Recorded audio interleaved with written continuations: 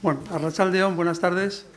Eh, bueno, como sabéis, esta es la quinta y última mesa de las jornadas que ha eh, organizado la Real Sociedad Vascongada, los amigos del país, Euskal Herria en en el CARTEA, su nombre completo, eh, sobre inteligencia artificial, en concreto con la denominación de inteligencia artificial, la revolución ya está aquí, que no es ningún descubrimiento a esas alturas del debate y creo que ampliaremos la idea a lo largo de esta, de esta sesión. Bien, las anteriores jornadas han estado dedicadas a temas diversos, temas científicos, temas eh, sanitarios, temas éticos, y hoy nos dedicamos al tema jurídico, bajo el sugerente título de claroscuros jurídicos de la inteligencia artificial. Bien, como sabéis, en realidad la inteligencia artificial nos afecta a todos y todas en todos los ámbitos de la vida personal, social, pública y privada, y por tanto es un tema pues, que lo tenemos encima. Hoy nos vamos a centrar en cuatro aspectos importantes, muy importantes, de nuestra vida en relación con la inteligencia artificial, aunque hay otros. Es imposible en una jornada agotar todos. Prácticamente toda nuestra vida está inmersa en esta cuestión y nos vamos a dedicar a cuatro según lo vamos a ir viendo a lo largo de esta exposición. Bien, nos acompañan cuatro expertos para cada una de las áreas que vamos a tocar cuya presentación iré haciendo a medida que vayan eh, a ir produciéndose las correspondientes exposiciones, para no abrumar de datos en el momento, en el momento inicial. Sus nombres también los iré diciendo eh, a lo largo de, la exposición. Eh, el formato es, el, como ya habéis visto en las anteriores sesiones, tenemos el tiempo de 6 de la tarde a 8 de la tarde. ¿Eh? y además con finalización de guillotina, o sea que por razones de organización de este local, ¿eh? pues eh, a las 8 tenemos que ahuecar, como se dice vulgarmente. Y por tanto, bueno, pues vamos a, mm, vamos a ceñirnos a un programa que va a consistir en que aparte de esta mini presentación que hago ahora y de las que haré luego de cada uno de los ponentes, pues cada uno va a tener un tiempo entre 15 y 20 minutos a su elección para realizar la exposición de su correspondiente parte. Eh, luego, inmediatamente después, pasaremos a un coloquio donde ahí cada uno podrá preparar lo que quiera, siempre dentro de un orden, no os paséis, ¿eh? y, es una broma. Y por tanto, bueno, pues con, ello terminaremos ya eh, la sesión de hoy. Y al final, pues como la sesión de hoy es la última, pues haremos un mínimo, mínimo comentario sobre la clausura de estas jornadas y sobre todo una, eh, un anuncio de, de, continuación con esta materia tan importante. Son cuatro mm, expertos ponentes, yo no cuento, ¿eh? y falta uno, falta uno que nos ha avisado hace poco que está metido en un atasco monstruo y que llegará, ¿eh? que llegará, eso sí, que tengamos fe y que llegará, pero se incorporará cuando, cuando esté aquí. Y por tanto, bueno, pues ya, como le tocaba el último, pues entonces no hay, no hay problema al respecto. Eh, bien, pues eh, sin más, si os parece, empezamos con el primer ponente, que es el que tengo a mi derecha, Lorenzo Goicoechea. Eh, describo brevemente su currículum.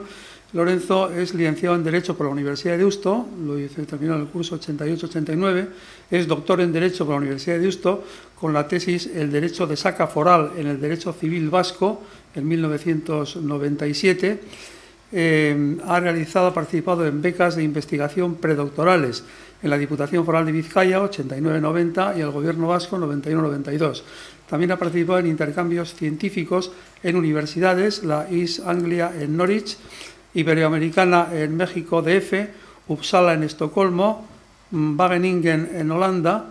Eh, es eh, Profesor, eh, eh, profesor, ha sido profesor asociado de la Universidad del País Vasco, Euskal Herriko Universitatea, desde el año 1995 al 2015. Ha realizado publicaciones y participaciones en las áreas de conocimiento de Derecho Civil, Derecho Internacional Privado y Resolución Alternativa de Conflictos. Ha ostentado cargos y realizado actividades previas, entre ellas destaco juez sustituto en Guecho, presidente de la Junta Arbitral de Consumo de Euskadi, director de la Real Sociedad Vascongada de los Amigos del País, en la que nos encontramos, en cuya nos encontramos, eh, y profesor encargado en la Facultad de Derecho de la Universidad de Usto desde el año 1992 hasta la actualidad en que continúa con dicha docencia. Abogado en ejercicio en el Colegio de Abogacía de Vizcaya, coordinador del Máster Universitario de Acceso a la Abogacía que organiza la Universidad de Deusto y el Colegio de Abogacía de Vizcaya, miembro de la Junta de Gobierno de la Academia Vasca de Derecho y vocal de la Comisión de Vizcaya de la Real Sociedad Vasca de Miembros del País, en la que igualmente nos encontramos. Bien, pues una vez descrito brevemente su, su identificación y su currículum, pasamos a la exposición que va, va, a tener por objeto el enfoque europeo sobre la inteligencia artificial.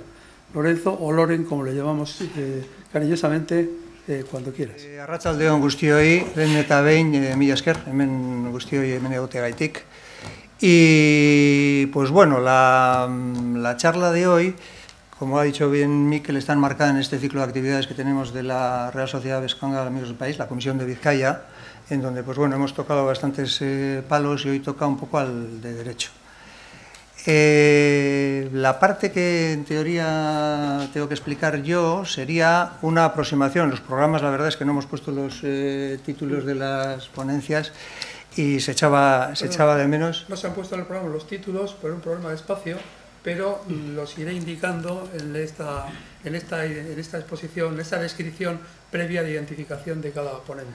Entonces, bueno, eso es la idea. Sí, nada, la idea era que eh, pues, mi participación fuera en el tema de inteligencia artificial perspectiva europea y luego mis ilustres eh, colegas de mesa, con la ausencia de Iñaki que vendrá ahora, pues se ocuparían de propiedad intelectual, protección de datos y responsabilidad eh, civil.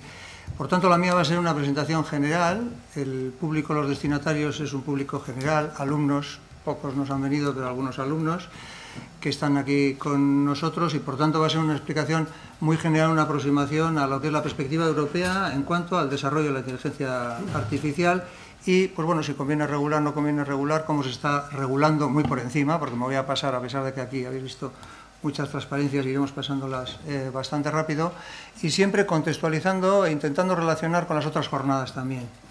Entonces, pues bueno, el contexto es el de la inteligencia artificial ¿no? y la regulación jurídica, pero el concepto de derecho estamos familiarizados con él desde hace tiempo ya y pues bueno, los que son legos en la materia, pues eh, no tanto como los eh, juristas, pero más o menos todos, los, todos sabemos lo que es el derecho.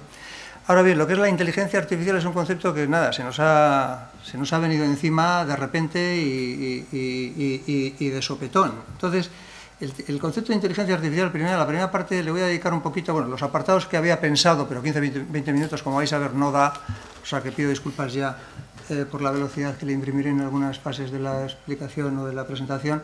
Eh, sería un poquito el estado de la cuestión en torno a la inteligencia artificial, lo que hemos visto en estas jornadas, para aproximarnos luego a los beneficios, los riesgos que puede tener, si hay una necesidad de regulación, los precedentes en la estrategia europea que se va a seguir en torno a la inteligencia artificial y el proceso de estructura y propuestas que se hacen y sobre todo las últimas que ha hecho el Parlamento en cuanto a posición del Parlamento a la propuesta de la Comisión. Luego un poquito por encima qué tipos de resolución de conflictos podemos disponer para cuando verdaderamente nos encontremos con los problemas de, de inteligencia artificial y terminar con unas pequeñas conclusiones y alguna consideración final. Espero que me dé tiempo a llegar porque aquí el moderador tiene la facultad para cortar cuando pase, pase el tiempo. Entonces, el, martillo. el, el concepto, concepto de inteligencia mm, artificial, bueno, como decía, es un concepto muy novedoso, es un maremoto, se decía, ¿no? Es un tsunami que nos viene a todos, está produciendo una ola enorme, repentinamente además, y bueno, aquí en las jornadas, en algunas de ellas, en algún taller práctico, etcétera, nos decían pues, que tenemos que aprender a surfear esa ola sí o sí, porque si no, pues muchos nos vamos a, a, a ahogar en, en ella.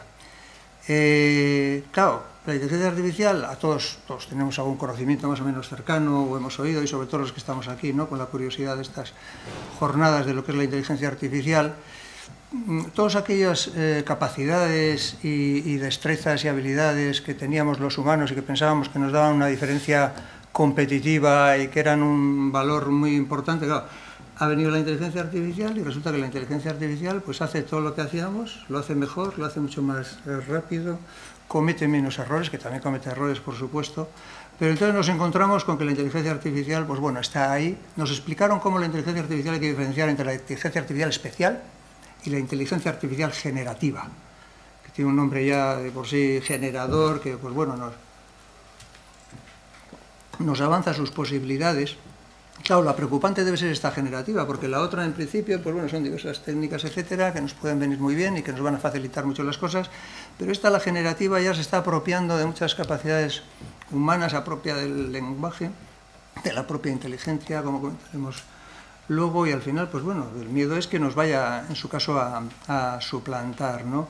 Entonces, esta inteligencia artificial generativa, bueno, parece ser que va a ser autónoma y no va a necesitar ni supervisión, o sea, se va a supervisar ella sola y, pues nos vamos a encontrar con que pues bueno, van a replicar incluso el sistema neuronal humano, según dicen, y esto, pues bueno, pues, no sé si nos asusta, pero por lo menos nos llama muchísimo eh, la atención. Entonces la pregunta aquí suele ser, bueno, ¿y, podemos confiar en esta inteligencia eh, artificial? Porque claro, esta inteligencia artificial va a crear muchas brechas, no solo la brecha entre los que la utilizan y no la utilizan, que esa ya, ya está siendo, y nos comentaban que para las empresas, etcétera, eh, esto, esto va a suponer, pues, para, para, muchos trabajadores y para muchos empleos, cuando la empresa seleccione al personal, a quién le van a subvencionar con la inteligencia artificial y a quién no, pues al final eso va a suponer que uno va a poder progresar y que los otros no.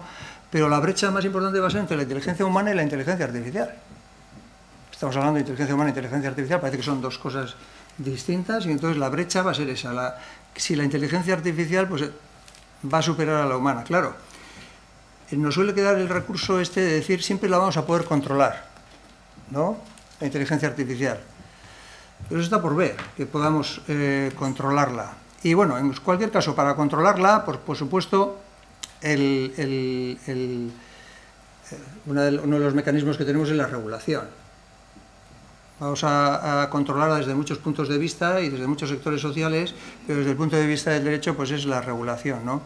Entonces, hasta ahora no está regulada la inteligencia artificial a nivel europeo. Claro que hay regulación y se conoce la inteligencia artificial desde hace mucho tiempo, a finales del siglo pasado ya, o sea, el concepto está ahí, pero la regulación es extraño que cuando está regulado todo, ¿no? todo lo que está regulado, todo, el papel, el ordenador, las sillas, cualquier cosa que hagamos tiene una regulación, unos controles previos, posteriores, etc. En cambio, la inteligencia artificial como ha venido tan rápido, es, es, es, tan enorme su potencial, resulta que, bueno, que la regulación, pues en principio está brillando por su ausencia, aunque todo el mundo se ha puesto las pilas ya, nos estamos poniendo las pilas, tanto ciudadanos como asociaciones como instituciones, y, y por supuesto que se está trabajando eh, mucho en esto. Bueno, plantea ventajas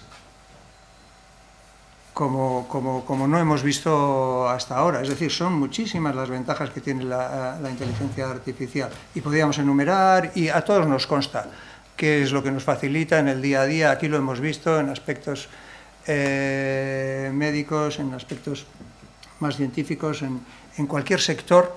La inteligencia artificial nos, va a facilitar eh, la vida de una manera que impensable hasta ahora. Sin embargo, también tiene un montón de riesgos. Claro, porque, eh, y en esto han saltado todas las alarmas y, y, la verdad es que todos se han puesto de acuerdo y no hay semana que no haya un manifiesto en donde mil científicos o mil expertos o no tan expertos pues eh, nos hablen de los riesgos que tiene la inteligencia artificial y instituciones, gobiernos, asociaciones públicas, privadas, los ciudadanos en general barruntamos hay algo de que esto sí que tiene mucho riesgo. Y claro, ¿a qué riesgos nos eh, referimos? Yo he hecho un extracto un poquito de los riesgos que nos aparecen en, el... Pues bueno, en los que nos dicen estos expertos, son estos y muchísimos más, pero uno de los, de los más importantes son el tema de las armas autónomas, el tema de las fallas de robustez, es decir, cómo se le puede engañar a la inteligencia artificial y nos puede volver locos, nos pusieron algunos ejemplos aquí en algún taller, los sesgos y discriminación algorítmica para minorías, para género, el social scoring, el rastreo muy de moda en, China y que se supone que ahora la regulación europea pues va a contener, va a prohibir, de hecho, ¿no? como luego comentaremos, los rastreos y vigilancias masivas, la propagación masiva de desinformación y propaganda, muy importante y muy peligrosa en épocas de elecciones, ahora bien las elecciones europeas y bueno, pues ahí están temblando, ¿no? están regulando, intentando regular la inteligencia artificial, pero se les viene una encima también, que ya se ha visto cuál ha sido el efecto de la inteligencia artificial en otras elecciones, eh, vulneración de derechos y libertades, la, amortización de empleos, que ahí es una moneda de doble cara porque por un lado va a amortizar muchos empleos, pero, pero a saco, pero por otra parte también va a dar mucho empleo. Entonces ahí veremos a ver cómo acaba esa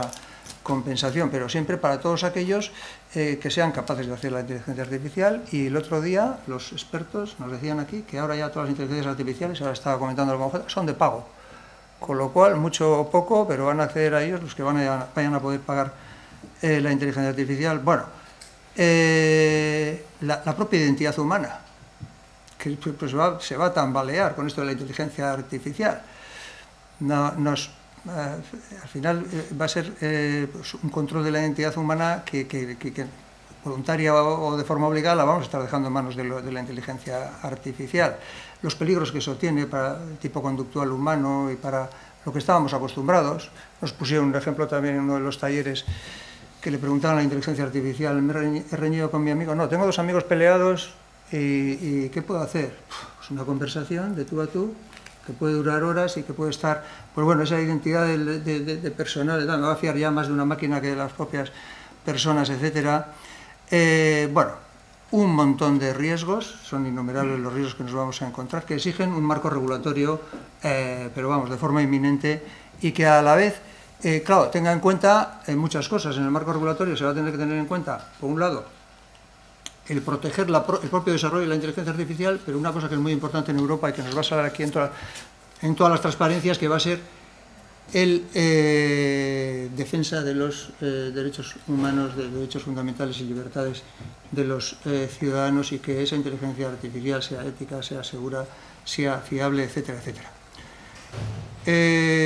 los precedentes de la propuesta de regulación, me pasa que tengo 10 minutos, pero me va a dar en 10 minutos para llegar a conclusiones los precedentes de la regulación, es decir, em, en estos momentos, este año es cuando en junio se aprobó la posición del Parlamento respecto a la propuesta de reglamento de inteligencia artificial, pero Europa ya viene trabajando en esto desde antes de la pandemia. Entonces, aquí hay un listado de eh, actividades, de comunicaciones, de informes, de comités que han intervenido en el tema de la elaboración de lo que va a ser la regulación europea de la inteligencia artificial y son un montón. Desde el año 2018, empezando el 2018 con un comunicado de prensa, luego declaraciones, documentos, comunicados, lanzamientos de propuestas, la Comisión Europea con planes coordinados, los grupos de expertos, hasta el 2023, que en junio de este año pues eh, se aprueba las enmiendas de la posición eh, eh, dentro de la posición negociadora del Parlamento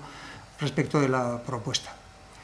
Eh, Europa, claro, Europa tiene una forma especial de legislar, ¿no? Para los que no lo sepáis, es una forma muy democrática de legislar, pero luego tiene la contrapartida de que es lenta porque al final esto que va a ser un reglamento, que el reglamento, a pesar de que se llame reglamento, no es como los reglamentos del ordenamiento jurídico interno, un reglamento es, como saben los eh, alumnos que están aquí presentes, es, una ley muy importante, la más importante de las eh, leyes europeas y que una vez que entra en vigor y es de aplicación, se aplica a todos los estados de la Unión Europea cuando es un reglamento, cuando no es una cooperación reforzada, pero si es un reglamento se aplica a todos los estados de la Unión Europea. Y claro, lleva lento. Desde 2018, desde la propuesta de la Comisión, luego va pasando eh, por diversas etapas y es un proceso largo y además cuando se apruebe, si es que se aprueba, según en qué vuelta y en función de ahora lo que el trílogo tenga bien considerar y tengan eh, cuestiones que discutir, si se aprueba también luego la entrada en vigor del reglamento, la entrada en vigor suele ser el año de publicación, pero se suele hacer de aplicación mucho tiempo después y este reglamento prevé que sea dos años después. Con lo cual estamos hablando de que el 2023, finales de 2023 o inicios del 2024 se puede aprobar el reglamento, pero este reglamento será de aplicación a partir, bueno, ahí los expertos y en los distintos debates lo que están diciendo es que esas excepciones que suelen ir en los reglamentos para que sea de aplicación con anterioridad en pocos artículos, pues que en este caso, para las cuestiones más importantes, pues sea posible aplicarlo con anterioridad. Pero bueno, un poquito el, panorama del, reglamento sería este. Y luego, esta estrategia europea, bueno, lo que quiere Europa es convertir a Europa en un referente mundial en, esta tecnología que he puesto ahí, pero es en, la regulación de esta tecnología, porque el otro lo tiene más difícil, que también quiere, pero lo tiene bastante más difícil. Entonces, lo que quiere, lo, más importante a destacar es un enfoque humanista y teniendo en cuenta las oportunidades y las amenazas que conlleva esta tecnología, garantizar a los europeos puedan confiar en la IA, eh, por supuesto los valores que tiene eh, sus fundacionales, libertad, justicia, seguridad, pero los complementarios de igualdad, eh, solidaridad, etcétera, dentro de un plan coordinado, es decir, este reglamento que se vaya a aprobar es una parte de un conjunto más amplio que es un eh, plan coordinado sobre inteligencia artificial europeo, que luego tendrá que competir con el chino, con el estadounidense o con el indio. Ahora parece que se van a poner de acuerdo o han participado en las últimas mesas muchos países y, parece ser que hay algún intento de, eh, colaborar, participó Europa, China y, Estados Unidos.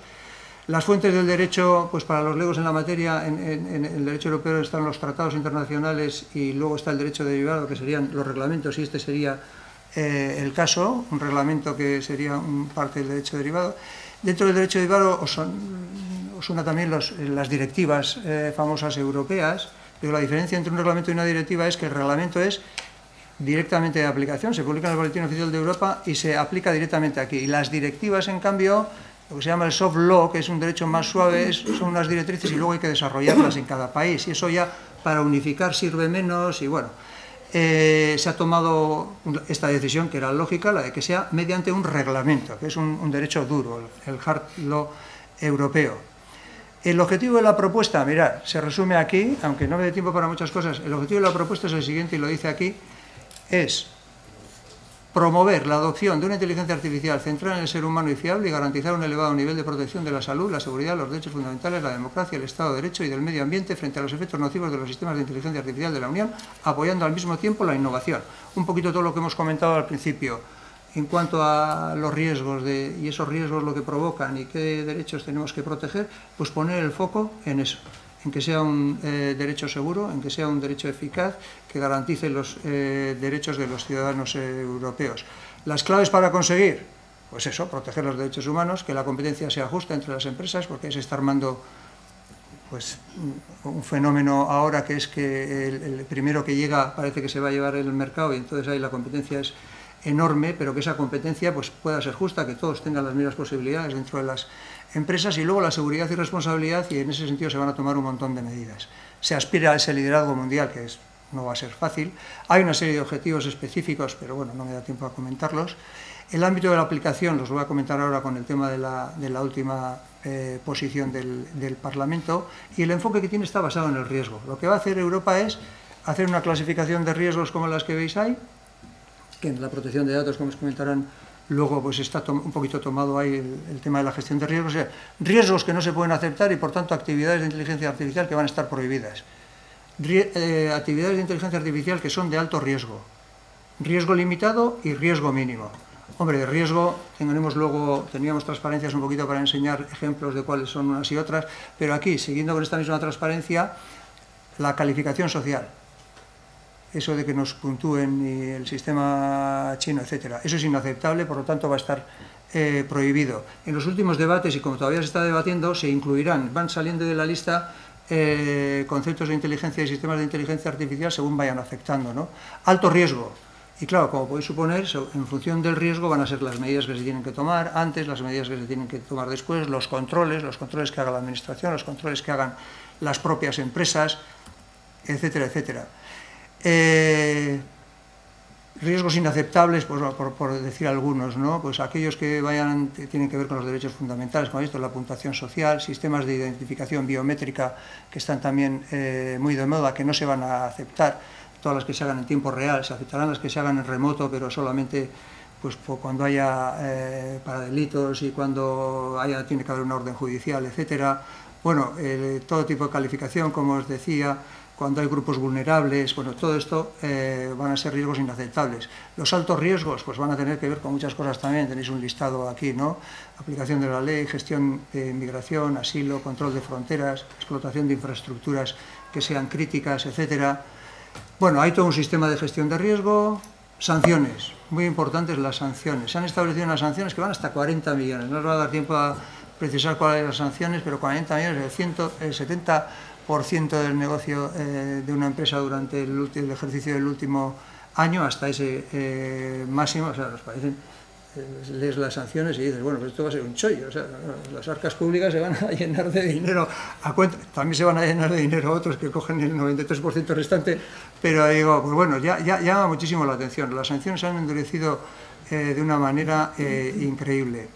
el apoyo a la innovación, Claro, aquí eh, Europa la verdad es que lo tiene fastidiado con China y con Estados Unidos, porque mientras aquí nos, se nos decían en algunas de las jornadas, también en una de las mesas, que eh, ChatGPT creo que está eh, metiendo, no sé si eran 700.000 euros al día. 700.000 euros al día. Claro, el, apoyo a otras empresas que no sean ya las que están en la dinámica o apoyar a esas, etcétera. Bueno, hay iniciativas alemanas en otros países europeos de sacar equivalentes al chat GPT, etcétera. Eh, por, comentarles un poquito el, bueno, lo que es la, propuesta de reglamento da unas nuevas definiciones, habrán oído hablar eh, de proveedores, de implementadores, de... Bueno, son conceptos que son nuevos, pero que vienen definidos. La propuesta de reglamento va definiendo qué es lo que significa cada uno de estos eh, conceptos. Como no me da tiempo ya el, este, en cuanto a la resolución de conflictos, eh, os acompaña Iñaki, dentro de la Unión Europea, decir dos cositas. Minutos ceros tengo. Eh, Como dicen pues los juzgados, señor Goicoechea, vaya terminando. Voy, voy terminando en un minuto la... Y, dejo un poquito conclusiones y, esto para el tema del, para la parte del debate, las consideración, la consideración final. Pero para la resolución de conflictos, pues bueno, claro, van a surgir muchos conflictos. Entonces, ¿qué tipo de medidas podemos tomar para la resolución de conflictos desde Europa? Bueno, la propuesta de reglamento ya eh, establece una serie de reclamaciones de los ciudadanos cuando se vean vulnerados sus derechos en función de cuáles sean los niveles eh, de riesgo. Hay una serie de posibilidades de denuncia ante organismos europeos, porque no lo he dicho, pero se han creado muchos organismos europeos y españoles, porque la presidencia europea del Consejo en este momento es española y a partir de ahí se están creando eh, una dinámica dentro de España que está regulando también sobre estos aspectos. La resolución alternativa de conflictos, que va a ser también un tema muy importante porque eh, todos vamos a ser consumidores de una manera o de otra de la inteligencia artificial y para eso los sistemas de resolución alternativa de conflictos, mediación, arbitraje, etcétera, son muy importantes y yo creo que eh, van a ser enormemente necesarios porque si no vamos a estar indefensos ante, ante las grandes multinacionales que van a controlar la inteligencia artificial, si no se le pone remedio antes, la, posibilidad de acceder al Tribunal de Justicia de la Unión Europea, la posibilidad en materia contractual de, eh, que de esto se tenemos mucha regulación y también nuestros alumnos conocen de los reglamentos europeos, el 1215-2012 de competencia judicial, ley aplicable, reconocimiento y ejecución en materia civil y mercantil, para la responsabilidad extracontractual el 864-2007 eh, para la Ley de Obligaciones Contractuales, etc., reglamentos y directivas para cuestiones especiales, como puede ser tratamiento de datos o, propiedad intelectual, etcétera, y otras regulaciones que nos pueden servir. Entonces, y como decía, algunas conclusiones, etcétera, pues las dejo para el final porque, claro, no, no da tiempo para más. Mi esquer.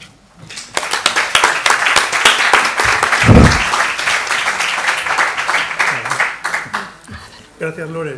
Bueno, continuamos con la siguiente ponente, según el programa, que es Maitane Valdecantos. Bien, Maitane es... Ah, perdón, gracias. Decía que vamos a continuar con la siguiente ponente, según el programa, que es Maitane Valdecantos. Bien, voy a describir su, brevemente su currículum. Maitane es abogada y socia de Audens, especializada en propiedad intelectual y derecho digital autora del libro titulado Legalidad de los negocios digitales, editado por Anaya Multimedia, jefa de estudios de la Escuela de Práctica Jurídica del Colegio de la Abogacía de Vizcaya, miembro de la Comisión de Supervisión de la Sociedad General de Autores y Editores, tutora del programa Help Human Rights Education for Legal Professionals del Consejo de Europa y miembro del grupo de trabajo de IT Law de un organismo que es el Consejo de la Abogacía de Europa profesora del Máster Universitario de Acceso a la Abogacía, organizado por la Universidad de Deusto y el Colegio de Abogacía de Vizcaya. También es profesora del Máster en Marketing Digital y del Máster en Business Analytics de la Universidad de Mondragón. Profesora del Máster de Emprendimiento y Dirección de Empresas de la Universidad del País Vasco, Euskal Herriko Universitatea, y de la Diplomatura en Data Governance de la Universidad del CEMA, que es una universidad existente en Buenos Aires. Bien, pues eh, con esta descripción podemos pasar a tratar del asunto que ella nos va a hablar de inteligencia artificial y propiedad intelectual de acuerdo con su especialización. Maitane, cuando quieras. Es que recasco, Miquel. Eh, bueno, buenas tardes a todos y a todas. Es un placer estar aquí con esta mesa tan interesante de la que espero aprender muchísimo. Ya he aprendido un poquito de, Loren y espero seguir aprendiendo. Eh, nada, agradecer nuevamente a la, Sociedad Vascongada la invitación y bueno, vamos a hablar de inteligencia artificial y de propiedad intelectual, dos conceptos que creo que igual hasta es más conocido el de inteligencia artificial que el de propiedad intelectual. Así que lo primero que vamos a responder es qué es esto de la, de la propiedad intelectual. ¿Cuántos de vosotros y vosotras habéis escuchado hablar de esto? ¿Creéis saber qué es la propiedad intelectual? Vale, empiezo por el principio entonces. Bueno, pues la propiedad intelectual básicamente es un catalizador, ¿vale? Es un catalizador que convierte el talento en industria, es decir, permite a las personas creativas vivir de su talento y convertirlo en algo que pague facturas, básicamente. Hay unos eh, aspectos interesantes de la propiedad intelectual, eh, como por ejemplo cómo nacen los derechos. ¿no? Es un aspecto especial, ya que los derechos nacen por el mero hecho de haber creado. La fundamental diferencia que tiene con la propiedad industrial es que cuando nosotros queremos patentar algo o registrar una marca, es el registro el que hace que nazca el derecho. Pero imaginaos que yo tuviera un talento brutal para la pintura, no se da el caso, ¿vale? Eh, tuviera un talento brutal para la pintura y ahora me levanto y me da por pintar aquí, o sea, un dibujo estupendo y precioso, pues por el mero hecho de haberlo expresado en este momento, ese, esa obra ya estaría protegida y yo ya tendría derechos. ¿vale? Esta es una de las particularidades de la propiedad intelectual. Tiene otras, como por ejemplo la limitación temporal. Al final, no sé, si nosotros adquirimos un, eh, bien inmueble, un piso, luego lo pueden heredar nuestros herederos y así sucesivamente hasta que eh, bueno, alguien decida venderlo y si no, pues se seguirá heredando. En esta materia, eh, como lo que vamos a buscar es un equilibrio de derechos, lo que ocurre es que se protege a las personas que crean durante toda su vida y 70 años después de su muerte, ¿vale? Y a partir de ese momento esa obra se convierte en una obra de dominio público. ¿Por qué? Para garantizar el acceso a la cultura, la libertad de innovación, de creación, de, incluso de transformación de obras preexistentes, ¿vale?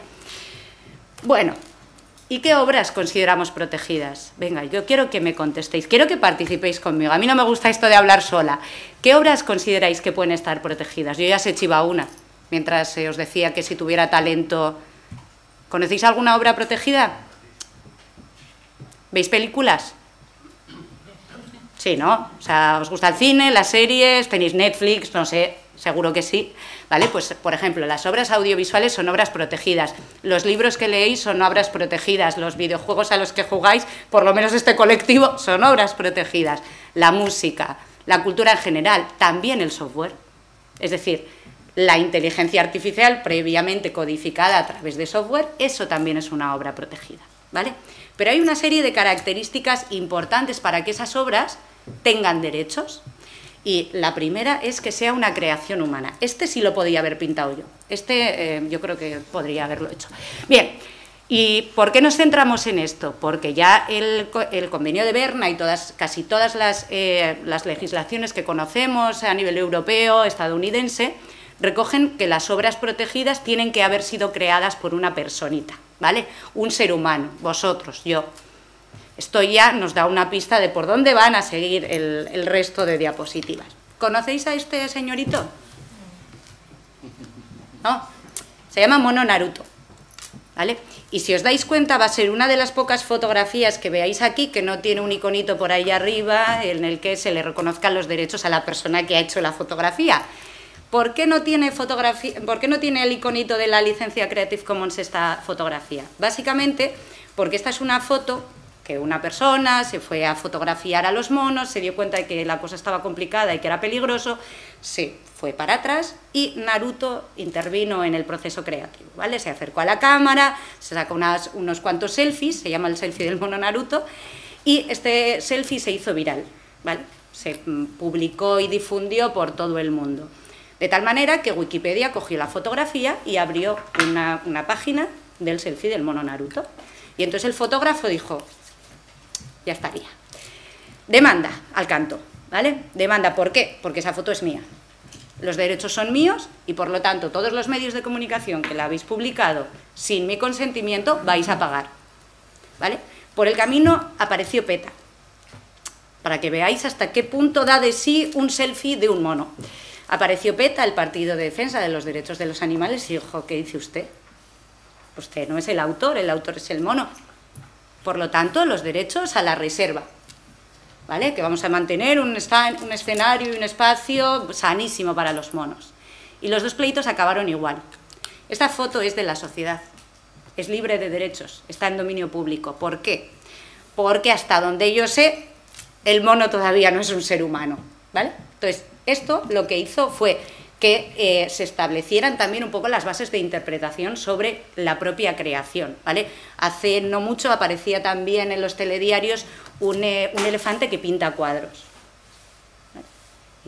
Algo, no sé, novedoso, curioso, esas aptitudes que pueden llegar a tener, pero esas fotos y esos cuadros no están protegidos. ¿Qué más? Una creación humana original. ¿Qué es original? Bueno, pues esto es un concepto que se ha analizado muchísimo desde el punto de vista jurisprudencial y que además nos permite extrapolarlo a la inteligencia artificial. Porque básicamente el concepto de originalidad va ligado intrínsecamente a ese componente espiritual de autoría. Es decir, eh, a lo que alude la originalidad es a la unión de la persona que crea, a, a, su forma de ver la vida, a su forma de expresar el talento, a sus decisiones creativas, a su expresión del yo. ¿Eh? Y esto es uno de los requisitos que tiene también eh, que cumplir la obra para ser considerada una obra protegida.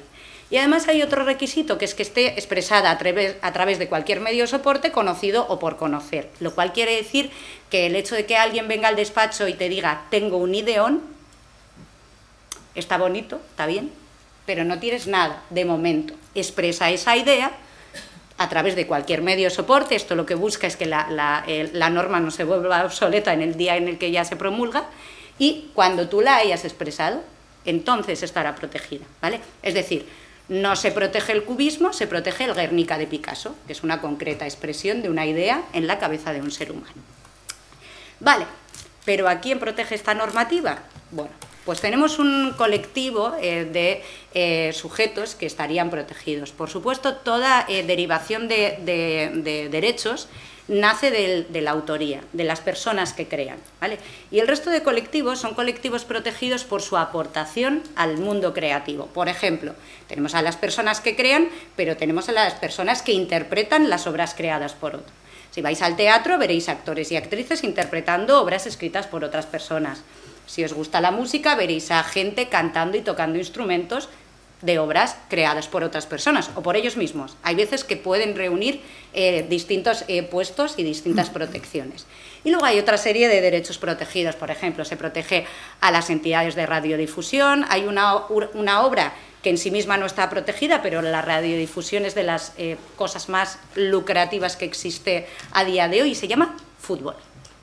Por eso tenéis que pagar para ver determinados partidos de fútbol, pero también están protegidas las entidades de prensa, están protegidas las productoras audiovisuales y las productoras musicales, y con todo esto, cada vez que movéis un pie a la derecha o a la izquierda o al frente, es posible que estéis infringiendo derechos, ¿vale? Nada, no os quiero meter miedo. Eh, ¿Y qué derechos otorga la propiedad intelectual? Bueno, básicamente tenemos dos tipologías de derechos. ¿vale? Se protege a las personas que crean y se les otorga derechos morales. La parte fundamental de estos derechos es que son intransmisibles, irrenunciables, es decir, ningún contrato que prevea que yo em, cedo los derechos de reconocimiento de la autoría de mi obra a un tercero va a tener validez, es nulo de pleno derecho, porque no se puede renunciar ni ceder ese derecho. ¿vale? Estos básicamente lo que garantizan es que el dinero no lo compre todo. Porque si el dinero lo comprase todo, probablemente no sabríamos ni quién escribió el Quijote ni, nada por el estilo. Probablemente el dinero habría comprado hasta la autoría a nivel de identificación. Y luego están los derechos económicos, que son esos que permiten lo que decíamos a la gente, vivir de su talento. Estos derechos se pueden ceder, se pueden licenciar, por eso tenemos múltiples plataformas en las que vemos distintas series y películas porque hay eh, una serie de, intervinientes que eh, lo que hacen es ceder o licenciar estos derechos. ¿vale? Pero llegamos al meollo, porque sin esto nos podía hablar de qué es esto de la propiedad intelectual aplicada a la inteligencia artificial, al meollo de la sesión. ¿Están protegidas las obras creadas por inteligencia artificial por esta normativa? ¿Qué creéis? Yo ya os he dado alguna pinceladita. Venga, ¿quiénes creéis que, están protegidas las obras? ¿Quiénes creéis que no? Vale. Pues como casi toda pregunta que formula una abogada, la respuesta correcta es depende. O sea, ya para siempre, ya mis alumnos también lo saben, depende siempre una buena respuesta. ¿Por qué? Porque hay que diferenciar dos tipologías de obras, ¿vale? Las tipologías generadas exclusivamente por inteligencias artificiales y las obras creadas por seres humanos asistidos de inteligencia artificial. Y esta es, a día de hoy, una de las eh, principales diferencias que tenemos para aplicar la normativa existente a día de hoy, que no quiere decir que no estemos debatiendo a nivel europeo otro tipo de alternativas. ¿vale? La realidad es que a día de hoy la inteligencia artificial está protegida, pero Loren ya os ha hablado de, las eh, IAS generativas. ¿vale? Aquí voy a hacer un guiño a mi socio que dice que se les llaman eh, inteligencias artificiales generativas porque creativo solo puede ser el ser humano, ¿vale? Si no, se les llamaría IAS creativas. Y la realidad es que esas IAS, no sé si habéis podido comprobar, pero son capaces de, eh, no sé, le metéis un prompt, que es como una pequeña instrucción para que haga cosas, y son capaces de llevaros a los años 90 a la Universidad de Wisconsin, no sé si habéis visto en redes sociales, pero hay tropecientas personas publicando cómo serían ellos si hubieran ido a la Universidad de Wisconsin en los años 90, ¿vale? Y también tenéis un montón de avatares que podéis precrear. Pero no sé si recordáis que hace, hace no demasiado eh, había una aplicación que te decía, ¿cómo vas a ser de mayor? ¿Quieres saber cómo vas a ser cuando tengas, no sé, 30 años más? ¿O cómo serían tus hijos si, no sé, los tuvieras con Brad Pitt? ¿Vale? ¿Todo eso para qué ha servido? Básicamente para que alimentemos a esa inteligencia artificial y sepa crear eh, rostros humanos. ¿vale? De hecho, hay ya una influencer en redes sociales que es capaz de generar muchísimo dinero y no existe. No existe. ¿Vale? ¿Y qué sucede con esto? Que supone un reto absoluto para las profesiones creativas. Como os imaginaréis, no sé si habéis oído hablar de la huelga de los guionistas en Estados Unidos, que se han plantado durante muchísimo tiempo y se han plantado por muchos motivos, entre ellos salariales, pero también para intentar bloquear su situación frente a esto.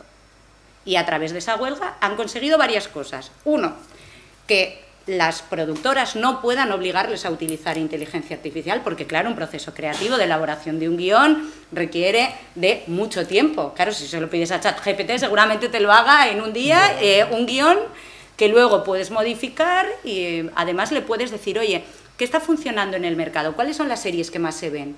Vale, pues hazme algo similar, ¿vale? O sea, tú algo que pueda encajar en el mercado, porque tenemos IAS predictivas que permiten analizar el comportamiento humano y predecir que puede funcionar y que no. Tenemos sillas aplicadas al audiovisual, por ejemplo, que te permiten decidir a qué actor o actriz contratar para que la cosa cuadre. Tenemos sillas prácticamente para todo. Entonces, para, para eh, las profesiones creativas, evidentemente, es un momento crucial. ¿Qué es lo que pasa con las inteligencias artificiales a día de hoy? Bueno, pues tenemos un proceso de reflexión, sobre todo a nivel de la Unión Europea, por el cual se están analizando tres, eh, eh, extremos eh, distintos. Uno es el de la personalidad jurídica, el otro el de la originalidad y el otro el de la autoría. Vale. Bueno, no sé si habéis escuchado, pero Japón ya reconoció la calificación de ciudadano electrónico a un chatbot. Y hay doctrinas, teorías, posturas, pensamientos que defienden que les demos personalidad jurídica a los robots. Si van a tener derechos, que paguen hospitales, básicamente. Y además lo asemejan al proceso de reflexión que se hizo para dotar de personalidad jurídica a las empresas. Las empresas tampoco existen sin seres humanos y sin embargo tienen personalidad jurídica propia. Este es el primero de los debates, la diferencia entre persona humana y persona electrónica. En cuanto a la autoría, parece que es contrario y, en esto, ya os digo, Estados Unidos, Francia, Italia, España, casi todas las eh, eh, normativas prevén que solo pueda ser considerado autor o autora la persona física. Pero es que además se nos plantean otro tipo de preguntas, como cómo cuadramos la protección de toda la vida del autor y 70 años después de su muerte con alguien que nunca muere, por ejemplo.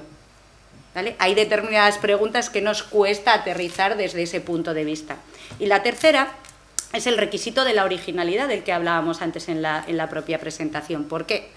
Porque hasta el momento no parece que las IAS sepan hacer nada eh, en el sentido de tomar decisiones creativas, ¿vale? Son los seres humanos los que les indican qué quieren, cómo lo quieren, etc. Y digo de momento porque si miramos a 10 años atrás, lo que vemos ahora no nos lo imaginábamos y yo no soy capaz de predecir qué va a pasar dentro de 10 años, ¿vale? A lo mejor Oye, eh, desde este punto de vista eh, desarrollan capacidades como las de yo no sé si habéis visto la película de Her, pero a mí fue una de las películas que más, que más me sorprendió por la propia temática, que era, eh, bueno, era una persona que básicamente se enamoraba de un robot inexistente, una persona, una mujer que teóricamente era una mujer electrónica dentro de, este, de esta reflexión. Hay una cosa importante y es que quiero diferenciar que el, el valor de los derechos e incluso el precio de los derechos, porque que una obra no tenga derechos no quiere decir que no tenga valor o no tenga precio. De hecho, el, primer cuadro pintado por una inteligencia artificial, que se llama El retrato de Edmond de Bellamy, con una técnica pictórica más que cuestionable, se vendió por más de 400.000 dólares. Es decir, precio tiene. Otra cosa es que no pueda impedir actos de reproducción, distribución, comunicación al público y transformación. Y en este sentido quiero traer a colación, para analizar y cerrar esta sesión, el caso de Boris eh, Eldagsen. ¿Conocéis este caso? ¿Os suena? Vale. Pues Boris es un fotógrafo alemán que concursa en el, en el, Sony, en el premio de, de fotografía internacional de Sony con esta fotografía y lo gana. Y cuando va a recoger el premio, cuando se le notifica que ha sido el ganador, renuncia a él y renuncia por un motivo, porque esta fotografía no ha existido y ha sido generada por una inteligencia artificial. Y en su propio speech él eh, manifiesta que ha querido concursar como un cara dura para ver si los premios, los certámenes estaban preparados para la llegada de la inteligencia artificial. Y es evidente que no lo estaban. Por lo tanto, tenemos muchos retos en adelante porque es muy difícil saber si esta fotografía ha sido o no creada por un ser humano. Así que nada, espero haberos generado un poquito de inquietud y ganas de saber más. Muchas gracias.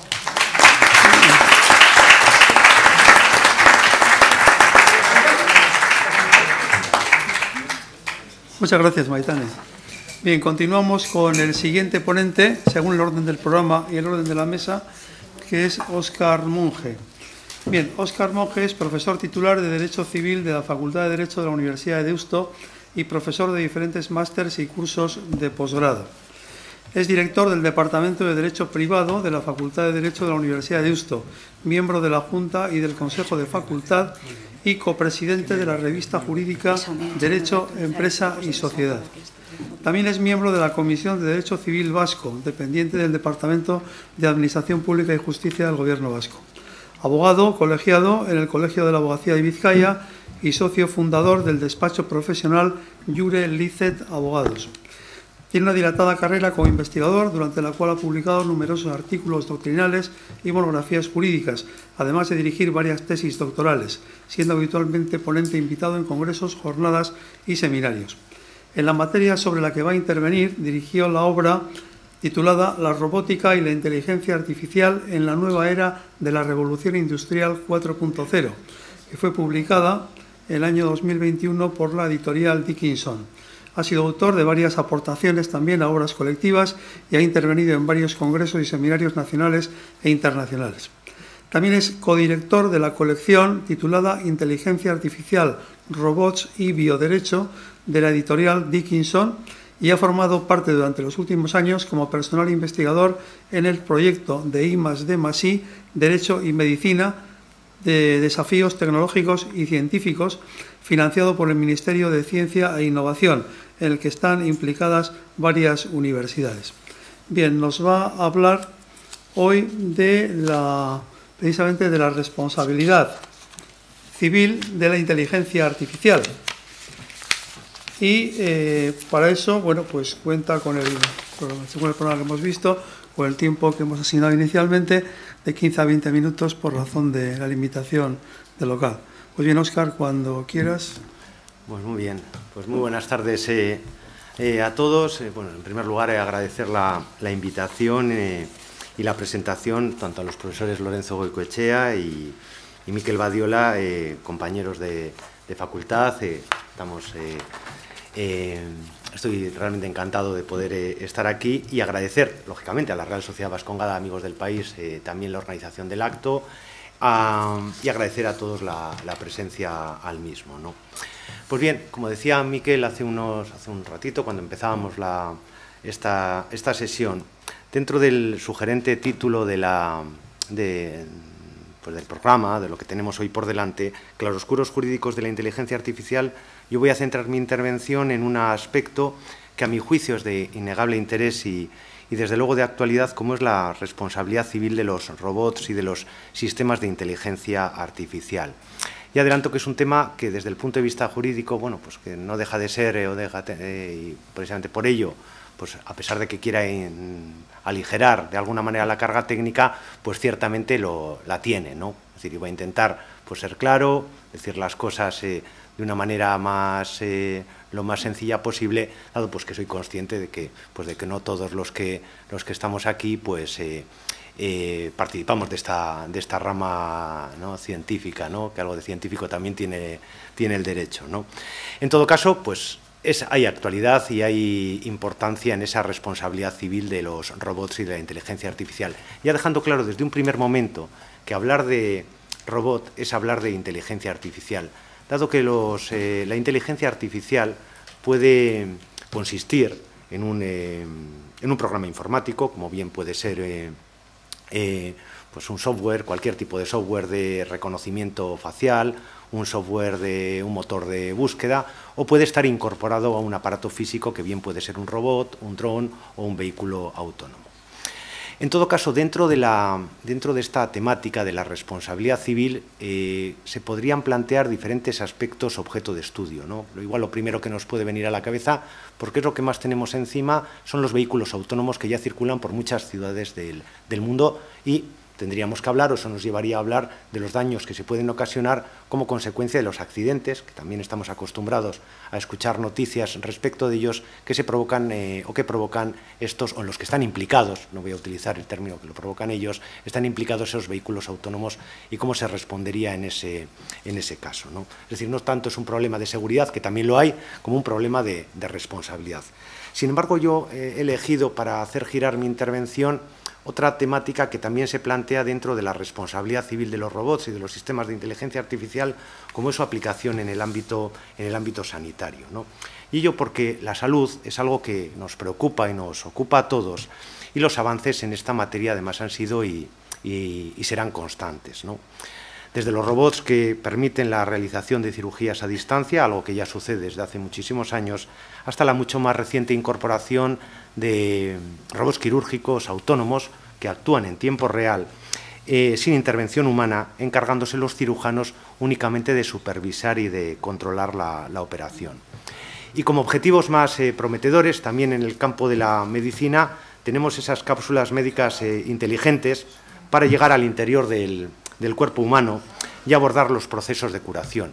Y junto a ello, que también porque esto es noticia constante, esas prótesis eh, biónicas avanzadas que están implantadas directamente en los sistemas eh, centrales y periféricos.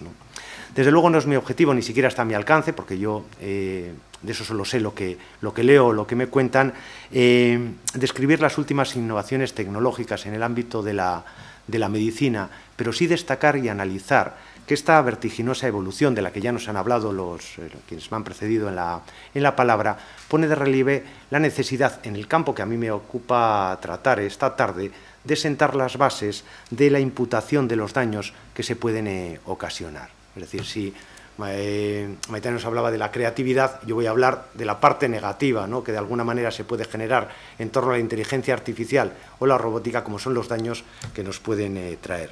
Y esos daños, como decía, pues hay que ver cómo se imputan, eh, dado que es perfectamente posible que se, que se produzcan. Y es perfectamente posible que se produzcan porque siempre será posible un margen de error, sea de diagnóstico, de procedimiento o de datos incorrectamente suministrados. ¿no? Y además debemos tener en cuenta que una de las características de la robótica, de los sistemas de inteligencia artificial, es su eh, interdisciplinariedad, su multifuncionalidad, sustituyendo comportamientos humanos estando dotados de determinada autonomía, yo diría que de cierta autonomía. Y es precisamente esa autonomía que se le está dando a los robots, de la que ya nos han hablado, la que plantea el principal reto de futuro e incluso de, presente. Dado que en el futuro nos vamos a encontrar con máquinas que van a sustituir a, eh, van a, sustituir a personas pues en tareas como el cuidado, como la vigilancia y en el ámbito sanitario, pues lógicamente desarrollando también eh, funciones. Es decir, nos vamos a encontrar con numerosos supuestos de hecho susceptibles de generar un daño y, en consecuencia, una posible responsabilidad cuyas condiciones de exigibilidad y agente pues, están pendientes de determinar. Es decir, qué sucedería en definitiva cuando se produzcan esos daños. Cuando esos daños se produzcan, que se van a producir, ¿no? se están produciendo en el ámbito industrial, eh, un robot que efectivamente confunde a una persona con una caja y provoca su fallecimiento, saltó a los medios de comunicación hace relativamente, hace relativamente poco, un vehículo autónomo que se descontrola y que atropella a una determinada persona, bueno, pues en ese caso va a ser necesario o es necesario determinar quién es el responsable.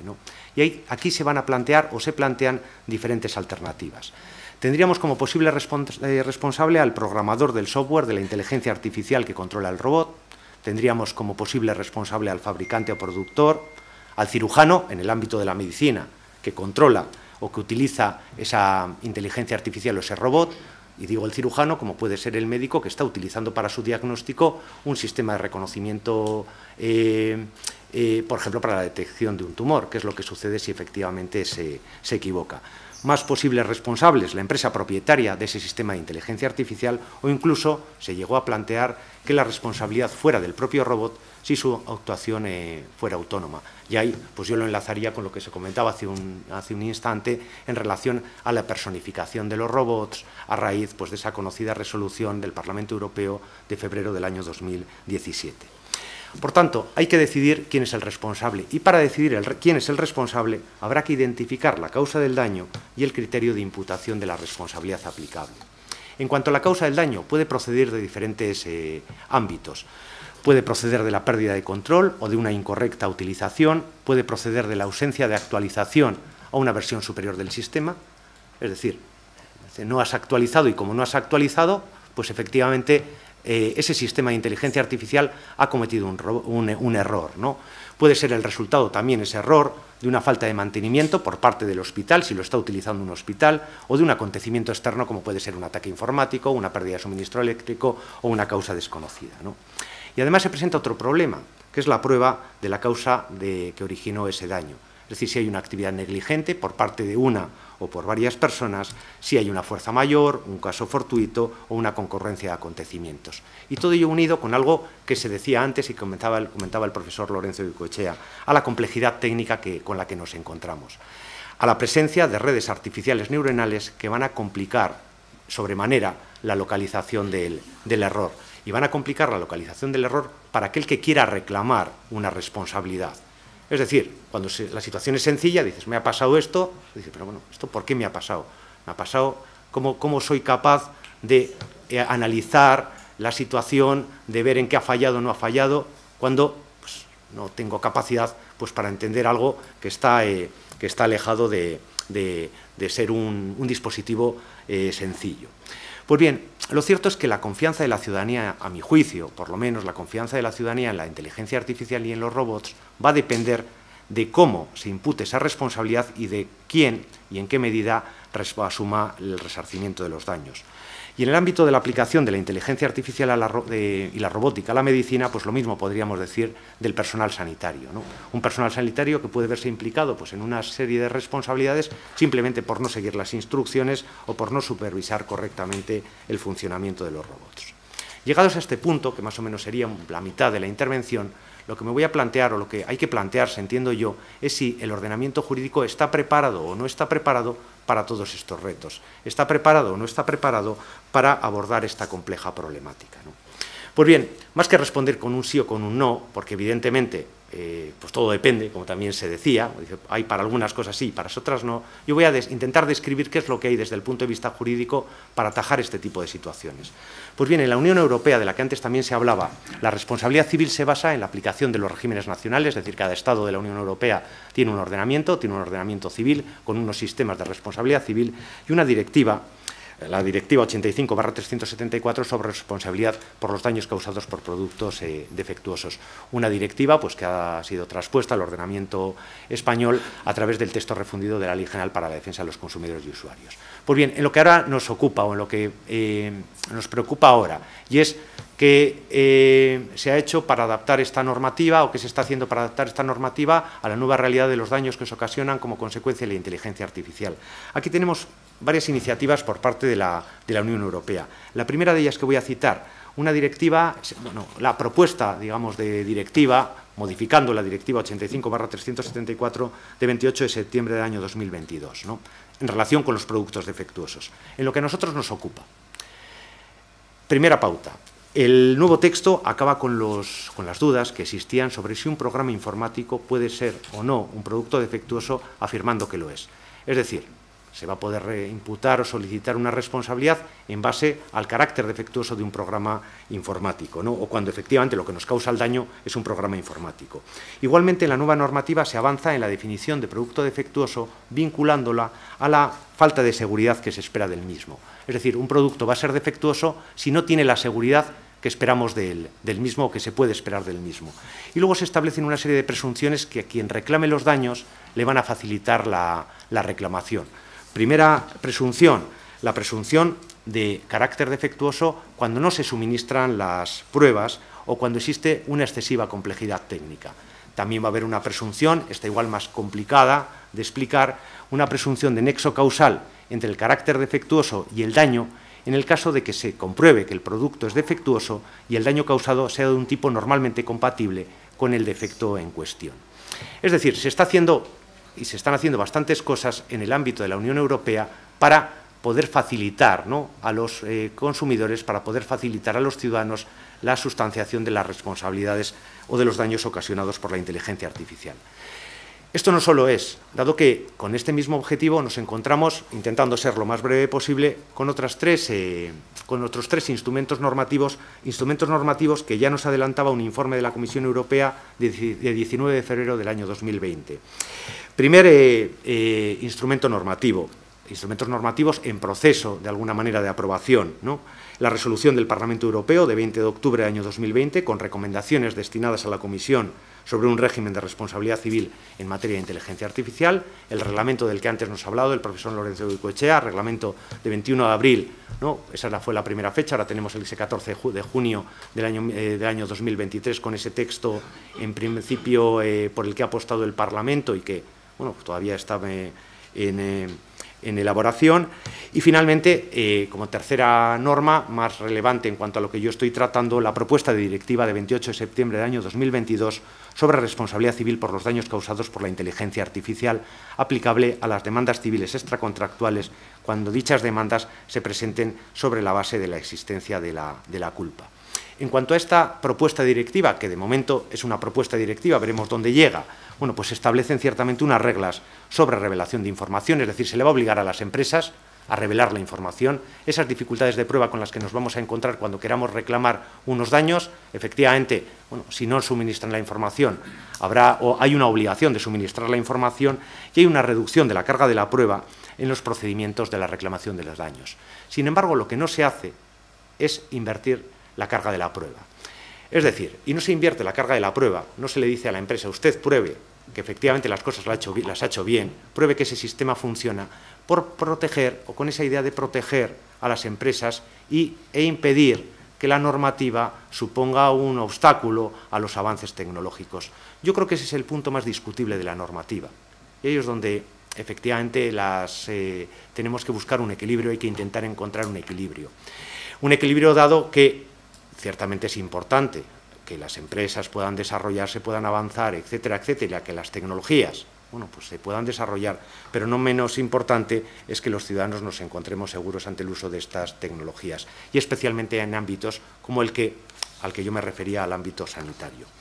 Precisamente en el ámbito sanitario, ya para ir eh, terminando, en cuanto a la responsabilidad civil en el ámbito sanitario, y partiendo, yo asumo de que los fallos, los daños, etcétera, pueden proceder de muy diferentes causas, yo entiendo que no hay otra alternativa, por tomar una postura clara, que elaborar una ley eh, sobre robótica, una ley sobre inteligencia artificial en el que se impute la responsabilidad por riesgo al operador y al propietario de modo similar al que sucede con la responsabilidad civil y el seguro en la, circulación de vehículos eh, a motor. Ese yo creo que sería el esquema, porque en definitiva estos sistemas de inteligencia artificial, estos robots son máquinas. Es decir, estamos ante máquinas, máquinas que se utilizan por parte de un tercero, aunque se nos diga que es para el progreso de la, para obtener dinero, para ganar dinero, es decir, en todos los ámbitos, y efectivamente, pues todo ello, ¿no? O ese riesgo tiene que recaer, o la responsabilidad tiene que recaer en quien lo utiliza. Y eso sin perjuicio de que, a pesar de que se apueste por esa responsabilidad objetiva, puede haber eh, situaciones en las que ciertamente se impute la responsabilidad al que lo utiliza si hay una culpa exclusiva de la víctima. Por otro lado, en el ámbito sanitario, más concretamente en el ámbito sanitario, y en el caso hay que tener en cuenta que en cuanto a las intervenciones quirúrgicas todavía no tenemos una situación en la que haya una, falta de control absoluto por parte de los que utilizan este tipo de tecnologías. Es decir, no actúan, afortunadamente yo entiendo, las máquinas eh, no actúan estos sistemas de una manera totalmente autónoma.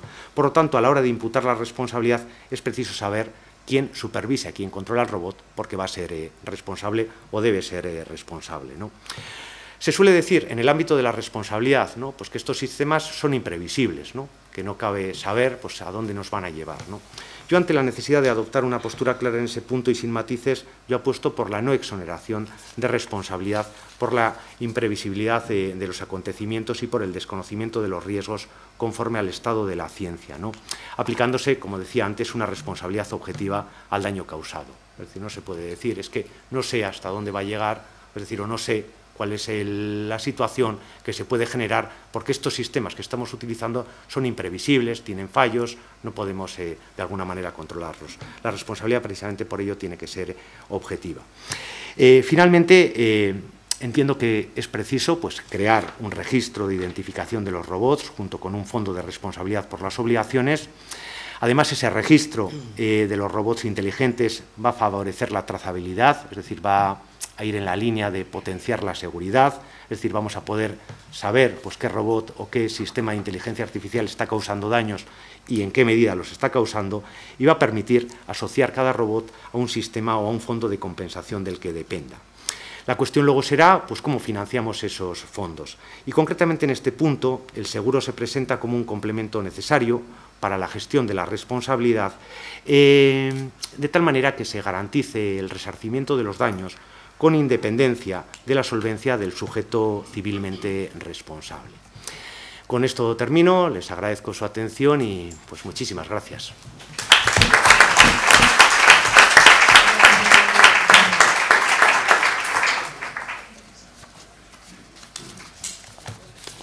Muchas gracias, Oscar. Muchas gracias, Oscar. Bien, eh, a partir de ahora vamos con el, cuarto y último ponente eh, de, esta, de esta sesión, que es Iñaki Pariente. Eh, ya, ya, Iñaki, ya he advertido al principio que estabas metido en un atasco, que llegarías un poco más tarde, pero has llegado en plazo, o sea que perfectamente bien. Muy bien. Bueno, pues como hemos visto en los anteriores ponentes, voy a describir la, el currículum de, de Iñaki Pariente. Iñaki es abogado, licenciado en Derecho por la Facultad de Derecho de la Universidad del País Vasco, Euskal Herriko Universitatea, y diploma d'études eh, approfondies en droit communautaire por la Universidad Robert Schuman de Estrasburgo. Ha sido director de la Agencia Vasca de Protección de Datos en los años 2012 a 2016 y director de régimen jurídico del Gobierno vasco. También ha sido magistrado juez entre los años 2000 y 2009. En la actualidad es delegado de protección de datos, experto certificado, miembro del Grupo de Expertos en Protección de Datos FIDE sobre implementación en España del Registro General de Protección de Datos, además de profesor de Derecho Digital de la Universidad de Deusto y profesor invitado en másters de varias universidades españolas, entre ellas el Instituto de Empresa de Madrid. También ha participado como consultor en la elaboración de las leyes de protección de datos y participado en la formación de empleados públicos de varios estados sudamericanos. Ha escrito varios libros y artículos sobre esta temática. Actualmente asesora a varias empresas públicas y administraciones vascas, además de empresas privadas en esta materia. También ha participado en las actividades desarrolladas en el marco del programa Eurosocial 3 y en actividades de consultoría en el marco del programa Eurosocial 2 en Perú, México, Colombia, Honduras y El Salvador. Participa en varios proyectos con financiación europea en el ámbito de la salud, la inteligencia artificial u otros. Participa igualmente en varios proyectos Horizon 2020 de la Comisión Europea como experto en Ethics and Data Protection en materia de inteligencia artificial, desarrollo de aplicaciones basadas en el perfilado o análisis de datos de salud, entre otros. Se encuentra actualmente participando en el proceso de redacción de la normativa básica que permita el intercambio de datos entre los servicios sociales y sanitarios en Euskadi. Bueno, pues a partir de ahí, eh, Iñaki nos va a hablar de la protección de datos y la inteligencia artificial. Y aquí cuando quieras. Nada menos. 15 minutos, ¿no? 15 a 20 minutos, perdón. 20. Bien. Hemos, eh, como no estabas al principio, te lo recuerdo, hemos dicho al principio, formato entre 15 y 20 minutos para poder luego tener un tiempo para el colegio, el coloquio, perdón, y no agotar el plazo hasta el límite inexorable que tendremos de las 8 de la tarde por razón de local. Yo estaba oyéndote, Oscar, y, y estaba pensando la, la, solución al problema. La vi el otro día en una serie americana que estaba viendo, en la que el coche autónomo se programaba y se decía: la prioridad es de los peatones o la prioridad es mía para salvarme. Si es mía, atropello al que pase, me da igual. Si la, si la prioridad es del peatón, pues entonces vamos a hacer todas las maniobras posibles y ya está el dilema moral y la responsabilidad estaba resuelta. Eh, un tema importante con la responsabilidad que estaba pensando también, justo cuando te veía, porque es que este tema tiene, tiene mucha historia, es los problemas que estamos teniendo con la seguridad. La seguridad y al hackear un sistema, estamos viviendo en el despacho, no sabría decir si a diario, pero casi todos los días, problemas de seguridad de sistemas en los cuales entran, eh, hackean, entran, acceden y la vulneración de esos sistemas conlleve un problema de responsabilidad y lo que ello pueda conllevar. Bueno, un montón de cosas y alguna más que tengo y para Maitane también luego si nos da tiempo a comentar que, que son temas muy interesantes todos. Bueno, mi parte o la parte que, que, quería tratar coincide en parte con alguna de las eh, ponencias eh, expuestas anteriormente, pero bueno, voy a intentar que, coincida lo menos posible y, ir a, situar y mandar unos mensajes, unos cuantos mensajes lo, más claros posibles. ¿no? Estamos en un momento de efervescencia normativa en Europa, ahora que está tan de moda Europa, todos los políticos estos últimos días de los debates de investidura miran a Europa, mandan cartas a Europa. Bien, de Europa nos viene una normativa estos últimos años, está llegando y está a punto de llegar normativa europea muy importante, además del reglamento de inteligencia artificial, que tiene mucha relación con todo esto que estamos hablando hoy. Porque la inteligencia artificial es lo que es porque se desarrolla a partir del trabajo sobre información. La inteligencia artificial no es nada si no puede acceder a grandes volúmenes de información para lo que llaman los tecnólogos el entrenamiento de los algoritmos. Para entenderlo, lo que lo que hay, y el otro día en un proyecto que estamos con el gobierno vasco nos explicaban los informáticos de la empresa pública de informática del gobierno, los directores de proyecto, nos decían si los algoritmos no son ningún problema, si muchos de ellos son públicos, los encontramos, son de acceso público y los puedo encontrar en algún sitio. Lo que pasa es que el algoritmo, cuando lo aplico a lo mío, cuando lo quiero utilizar para una herramienta de traducción automática, como la que el gobierno vasco ha puesto en funcionamiento hace poco, lo tengo que entrenar. Y lo tengo que entrenar, y entrenar supone que lo tengo que hacer correr, como llaman ellos, sobre grandes volúmenes de información, grandes volúmenes de datos, conversaciones, eh, gente hablando, programas de radio, de televisión, para que el algoritmo mejore. Y cuando el algoritmo mejore, seguirá mejorando seguirá, y cada vez será más efectivo y conseguirá su fin de una forma mejor. Eso mismo está pasando en el, en el ámbito de la salud. En el ámbito de la salud estamos participando en algún proyecto y mi perspectiva quería que fuera más práctica y más, ya que era el último, pues así os daba un enfoque más práctico por, por por mandaros un mensaje más del día de hoy. Eh, algunos proyectos en los que estamos trabajando, por ejemplo, uno con el, eh, el, Hospital Valdebrón, que quiere constituir un repositorio de datos para trasladar a un espacio, a un, a un espacio en la nube, un montón de información de pacientes críticos quemados y de, de UCIs pediátricas en tiempo real, trasladarlos, subirlos al repositorio, para que sobre ese repositorio investigadores e investigadoras eh, que es el gran o uno de los grandes espacios donde la inteligencia artificial se está desarrollando, trabajen sobre esos datos anónimos para conseguir algoritmos predictivos, que es el futuro de la salud, conseguir saber que la gente va a tener una enfermedad antes de que la tenga. saber que tienes un 80% de porcentaje de desarrollo de la enfermedad antes de que tengas ningún indicio y orientar la medicina a una medicina preventiva. Para eso que necesitamos una gran, un gran volumen, miles y miles de datos generados por las personas en tiempo real a ser posible y de forma continua el último aparato que va a poneros aquí de hecha para los diabéticos y que está el proyecto pilote que anunció esta misma semana, que habréis oído, va a generar o puede llegar a generar datos de, diabetes de las personas cada segundo, cada cinco segundos. Son datos continuos, datos de distintas herramientas, datos de monitorización de personas, aparatos que llevamos cuando estamos en, una, en un hospital, en, en una unidad de cuidados intensivos, que genera continuamente información. Esa información la subo a la nube y sé y aprendo el algoritmo trabaja sobre esa base de datos y el algoritmo aprende y mejora. Y eso constituye lo que llamamos luego algoritmos predictivos, que van a intentar trabajar sobre el avance sobre lo que le va a pasar o lo que le puede pasar a las personas en el futuro. Eh, por lo tanto, el, lo más importante o uno de los elementos más importantes para poder entender la inteligencia artificial es entender que trabajan sobre lo que hay, sobre información, que es lo que va a producir, lo que va a hacer que el elemento, eh, el algoritmo aprenda y funcione cada vez mejor. ¿Y esos datos de quién son? ¿De quién es toda esa información? Pues la información es nuestra, de todas y cada una, de todos y cada uno de nosotros. Y esa información hay que ver cómo se usa. Y ahí es donde entra la parte de protección de datos.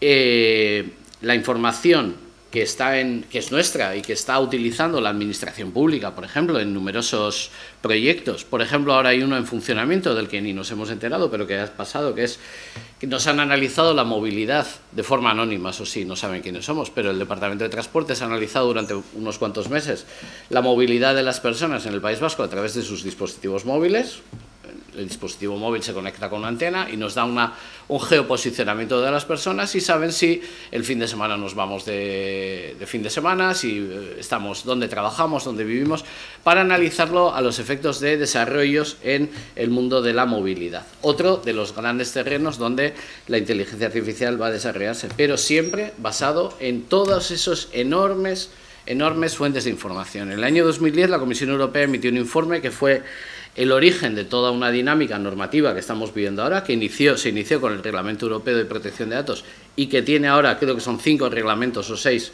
en, vías de aprobación, en el que la Comisión Europea constató que la economía se basa en un casi, la casi totalidad de su funcionamiento en la información, en el dato. La información de las personas como elemento que genera riqueza.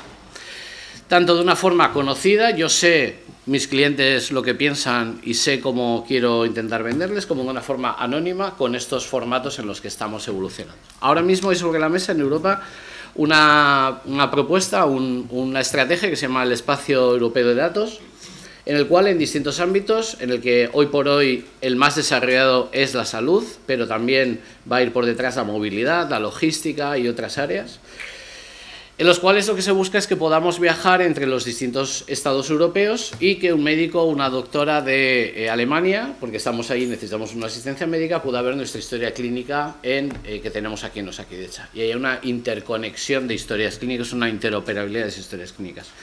Pero eso no es el, objetivo principal, aunque nos parece el más, el, reglamento lo plantea como, un elemento principal, no es realmente el, objetivo principal. El objetivo principal es el que va detrás, que es la generación de un espacio europeo de datos, que haya una posibilidad, que, que todo lo que está en las historias clínicas de todas las personas de toda Europa sea posible acceder a esa información para, por ejemplo, en una de, los, eh, de las utilizaciones más evidentes, investigar o desarrollar herramientas que nos permitan luchar contra distintas enfermedades. La investigación biomédica, que es una de las finalidades principales.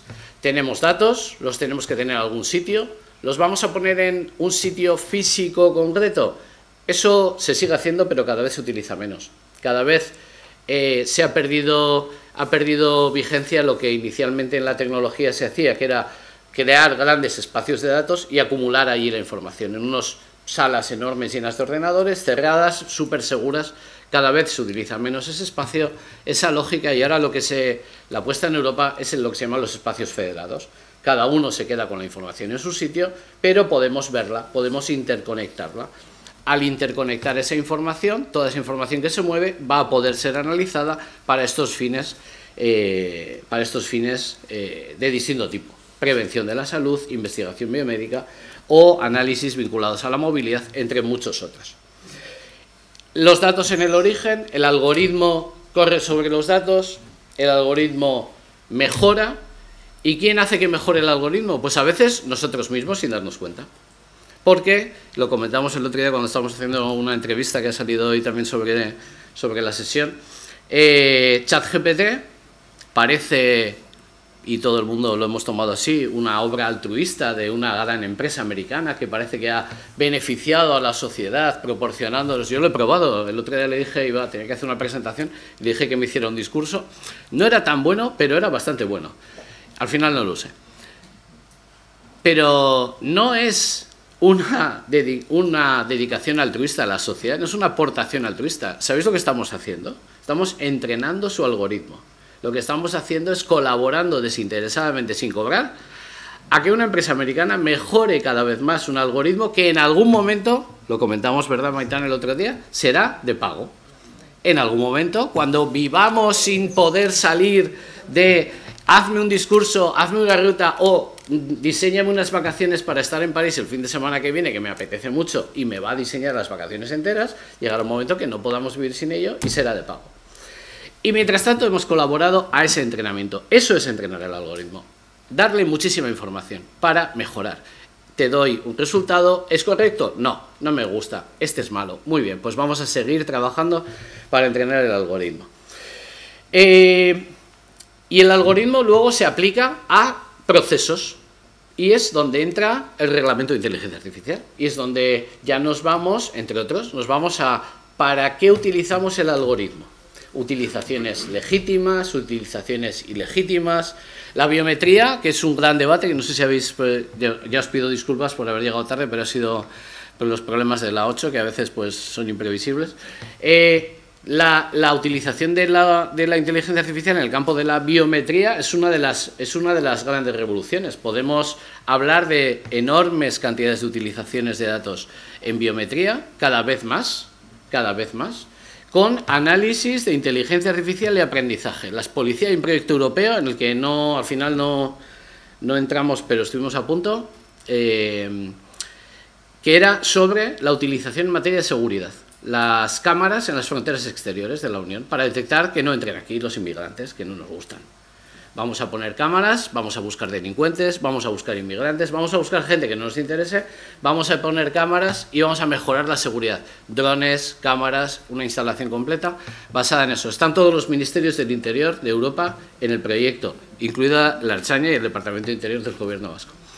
Porque es un proyecto súper interesante. ¿A qué nos lleva? Al análisis biométrico. El análisis biométrico sirve para muchas cosas. Sirve para poder eh, permitirme entrar aquí hoy si hubiera un sistema de análisis biométrico en la puerta, pero también sirve para detectar, identificar, autenticar a las personas, contratar, etcétera, etcétera, para muchas de estas finalidades. Bien, por lo tanto, el dato en el origen y de quiénes los datos son nuestros. Tenemos, hay muchas garantías sobre el uso de los datos. La posibilidad de utilizar datos no anónimos, sino datos de personas identificadas, es muy restringida. Hay muchas garantías que hay que cumplir para, para esto. Es muy, eh, muy difícil eh, preparar un proyecto de investigación biomédica, por ejemplo, para trabajar eh, con aplicaciones. Ahora la investigación biomédica sigue trabajando mucho en el ámbito de las medicinas como tales, como lo conocemos siempre, probar una medicina, dar un placebo de una medicina, ver a ver a quién le funciona y, analizar eso. Y cada vez más está en el terreno de la electrónica, de las aplicaciones móviles, aplicaciones. Ahora estamos en un proyecto europeo para el, el diseño de una aplicación para lo que llaman los supervivientes, los survivors, cancer survivors, los supervivientes de cáncer, todas las personas que han tenido cáncer y lo han pasado para mejorar la calidad de vida de las personas con cáncer. Todo eso se va a basar en una serie de datos, personas que aportan información sobre su estado de ánimo, su situación personal, cómo viven, si comen bien, si tienen un funcionamiento ordinario en su vida diaria, aportando información para, analizando esa información, hacerle recomendaciones a las personas en tiempo real sobre cuestiones beneficiosas para su salud. ¿vale? Análisis de datos, nuevamente mucha gente aportando información en un futuro próximo incluso conectada con la historia clínica de cada persona en su sistema de salud, para que a partir de la información que tiene en su historia clínica, más lo que aporta analizando todo ello, tengamos cada vez más información para lo que quiere la Comisión Europea, que es mejorar la calidad de vida de estas personas. ¿vale? Tenemos un fin legítimo en el final, cada, y es muy extraño encontrar fines ilegítimos. No sé si comentaremos el tema de los, la elaboración de eh, fotografías o vídeos con cuerpos de una persona y caras de otra eh, con finalidad de, bueno, sin comentarios. Eh, las finalidades normalmente son lícitas, sobre todo las que lleva adelante la administración pública y muchas empresas, son finalidades lícitas, buscan vender más, finalidad más lícita que esa no. Y las finalidades de las administraciones públicas que es dar un mejor servicio a las personas. Finalidad también perfectamente lícita. Por el camino hay mucho que ver, hay que analizar qué datos voy a utilizar, cómo son esos datos, si son datos anónimos o son datos identificados, es decir, sabemos quiénes son estas personas sobre las que estamos trabajando, lo cual exige muchas más garantías y muchas más cautelas para conseguir llegar a ese fin último que es aplicar a un proceso concreto, de los cuales hay muchísimos ejemplos, si queréis comentamos alguno más ahora en, en el turno de intervenciones, que es la aplicación del algoritmo a conseguir algo. Traducción neuronal, por ejemplo, en el gobierno vasco, el principal proyecto en inteligencia artificial que se está aplicando, que lleva ya un tiempo, el traductor neuronal, que va a acabar traduciendo antes casi de que la persona hable. Es decir, al Lendakari ya le están haciendo pruebas para... Eh, iba a hacer una broma fácil, que es que al, Lendakari es fácil saber lo que va a decir. Era una broma fácil. Eh, vamos a poder, casi se va a poder traducir antes de que la persona hable. Va a poder establecer parámetros de comportamiento y de conversación que van a ir casi adelantando la traducción a, que la persona esté hablando en base a parámetros previos analizados por inteligencia artificial y comportamientos predictivos. ¿Vale? Bueno, venga, nos aburro más y dejamos ahora para, la, para las preguntas cualquier cosa más. Gracias.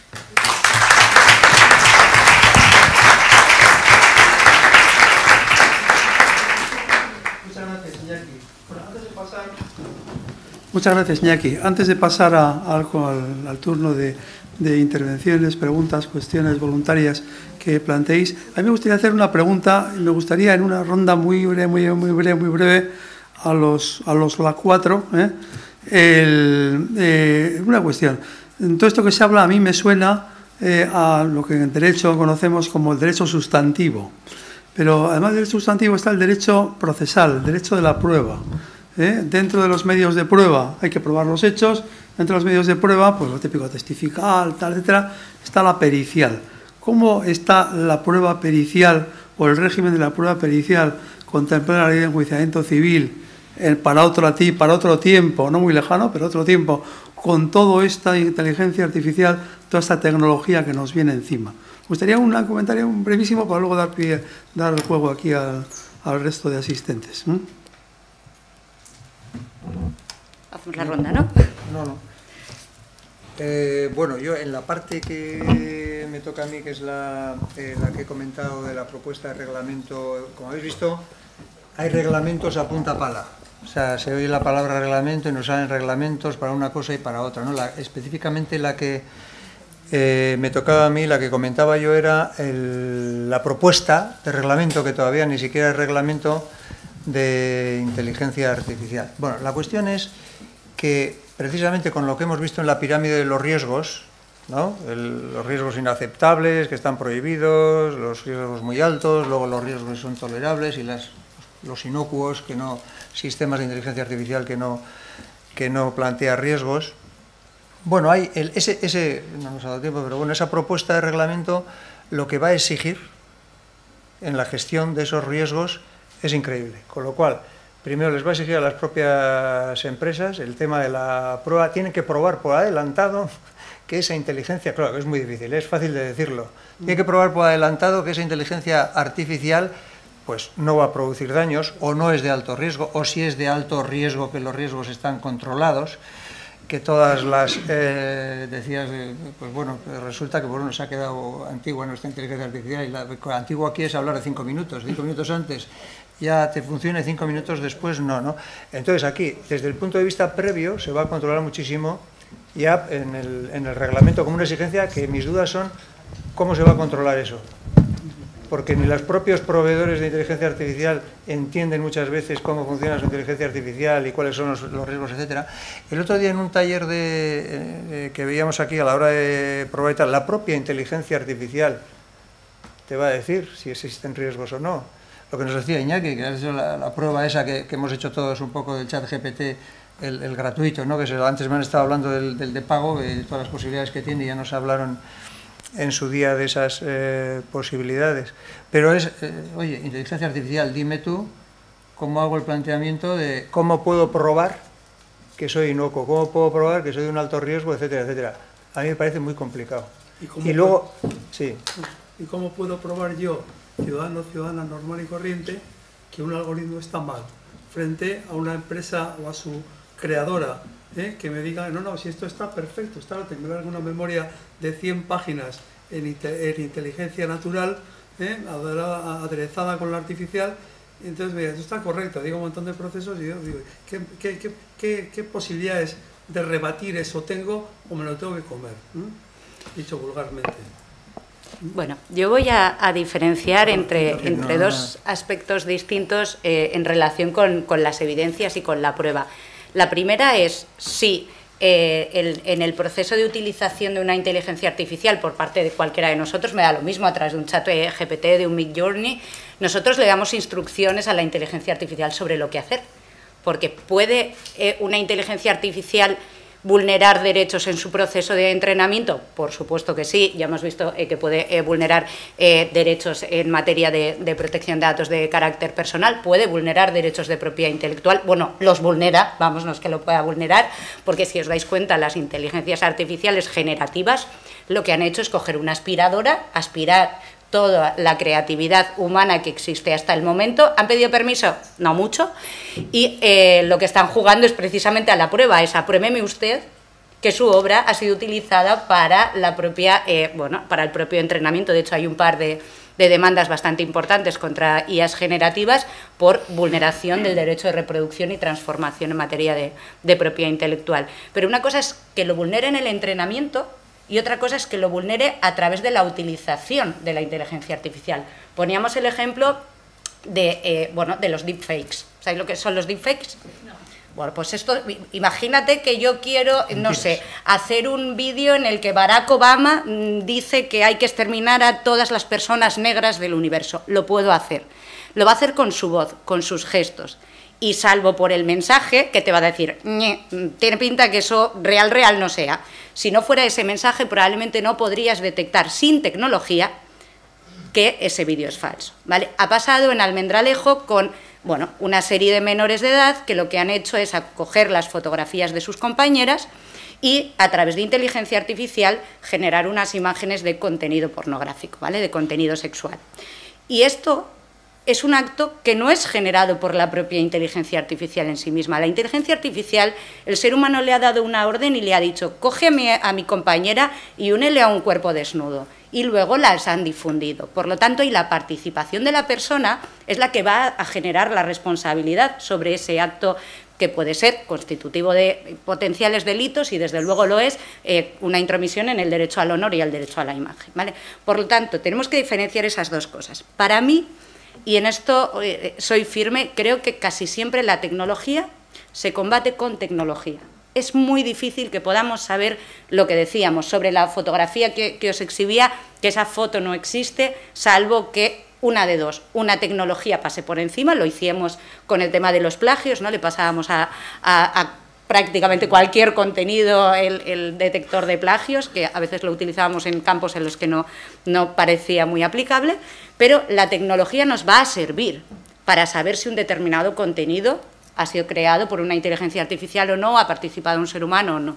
Luego tenemos la parte de la propia evidencia digital. ¿vale? En esto llevamos ya trabajando también muchos años porque las evidencias digitales tienen un problema. Uno, su mutabilidad cambia muy rápido. Segundo, que las podemos eliminar casi de forma inmediata. Necesitamos forensic que vengan y den la vuelta atrás y, pongan, pues, por ejemplo, un ordenador que ha sido formateado tres veces, lo devuelvan a su estado original. ¿vale? Y hay una tercera cuestión que es la propiamente procesal, y es cómo incorporamos evidencias digitales a un procedimiento judicial, porque los que nos dedicamos a esta materia hemos visto infinidad de ocasiones, y de hecho sigue, entrando sin ningún tipo de problema, en la que, no sé, un correo electrónico, que por ejemplo es una evidencia digital que nace digital, se aporta impreso.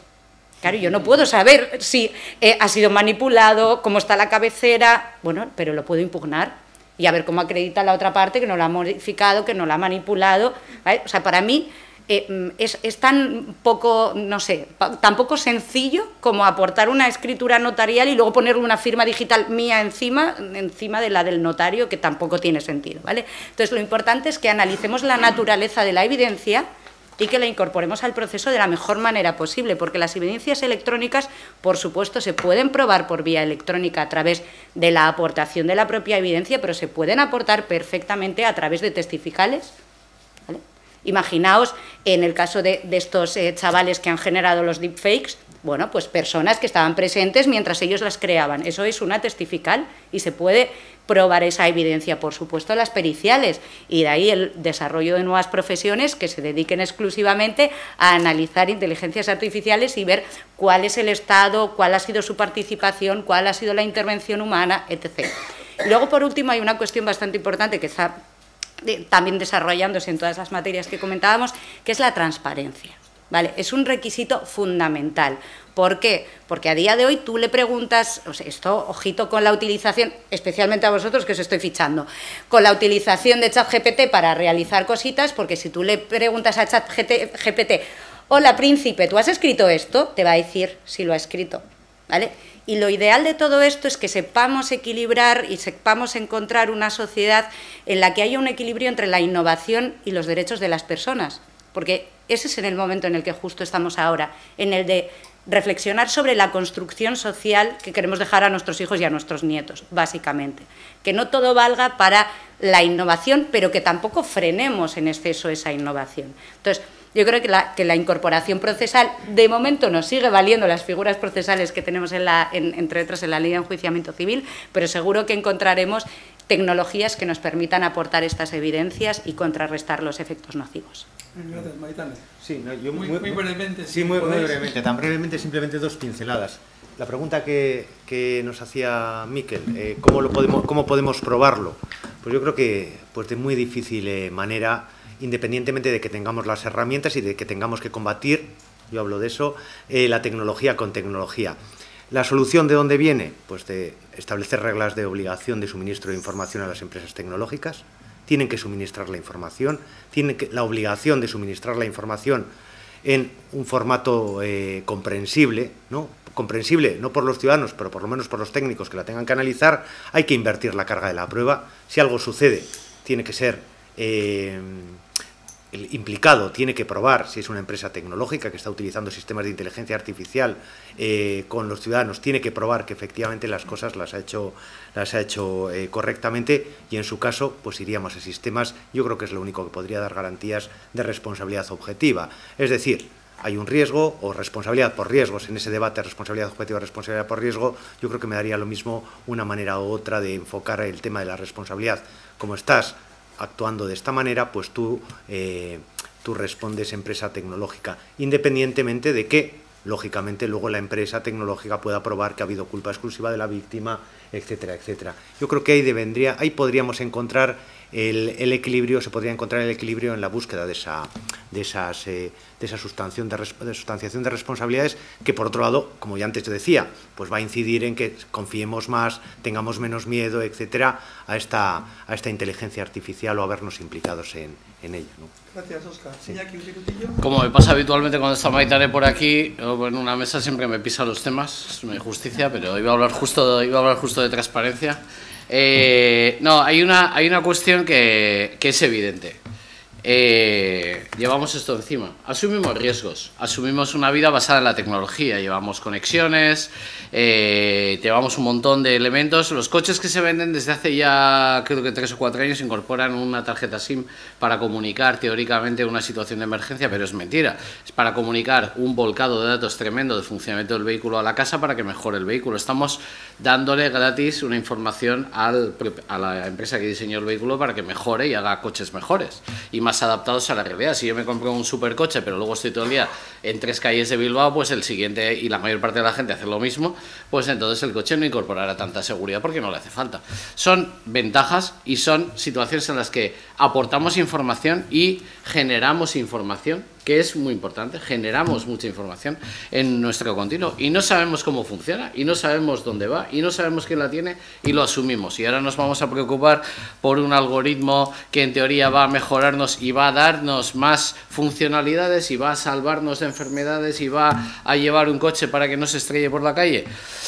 Pues es un poco incongruente. Cuando hubo hace dos años un proyecto en el que el, el Instituto Nacional de Estadística quería quería eh, comprar, comprar pagando 800.000 euros que iba a pagar por los datos de movilidad de todas y todos los españoles y españolas, de todos, bueno, todos, de casi todos, los que tienen las tres o cuatro operadoras más grandes de telefonía y su movilidad 24 horas al día durante unos periodos de tiempo, todo el mundo puso el grito en el cielo, pero esos mismos llevaban Google Maps encendido. O sea, llevaban el geolocalizador y, y, Google Maps abierto y todo, y 40 aplicaciones abiertas a la vez en el dispositivo sin ningún problema. Es decir, que tenemos que valorar en esa situación en la que queremos vivir como sociedad que el uso de la tecnología mejora un montón, mejora muchísimo la vida, cambia la vida. Ahora estamos en un casi en un momento de vuelta atrás con esto de los smartphones para los niños, los 12 años y todo este debate que se ha abierto así de repente. Pero lo cierto es que todo el mundo tiene un smartphone encima y todo el mundo genera un montón de información. Y los algoritmos utilizan esa información. ¿Queremos saber qué hace el algoritmo? Si lo tiene la administración pública, tenemos derecho a pedírselo, la transparencia que decía. Y sobre todo la transparencia en el ámbito de la administración pública es una obligación. Hay ONGs, organizaciones que se dedican a esto y que piden fehacientemente piden una copia del algoritmo, piden saber que les expliquen realmente, no el algoritmo, la fórmula matemática de cuatro páginas, no, no, ¿qué hace? Explícamelo en detalle, el proceso y el análisis. Eh, la ley de RGI del año pasado, eh, la que participamos también en la redacción, incorpora la posibilidad, todavía no es real, pero posibilidad de análisis con inteligencia artificial para el eh, otorgamiento o no de RGI a las personas. Bien, cuando esto empieza a aplicar, podemos ir a la administración, al departamento de trabajo y decirle, explícame el algoritmo que estás usando, quiero verlo, quiero ver si genera sesgos, quiero ver si genera un trato discriminatorio para las personas inmigrantes, quiero saber eh, si las personas mayores o tienen un trato distinto, quiero saber cómo, cómo actúa y para eso tenemos derecho a pedirlo. Gracias, Iñaki. Bueno, lamento haber comido un poco el tiempo del coloquio con mi pregunta, pero me ha parecido que era importante. Bueno, eh, ¿alguien quiere comentar, aportar, cuestionar, etc.? ¿Eh? ¿Sí? Momento.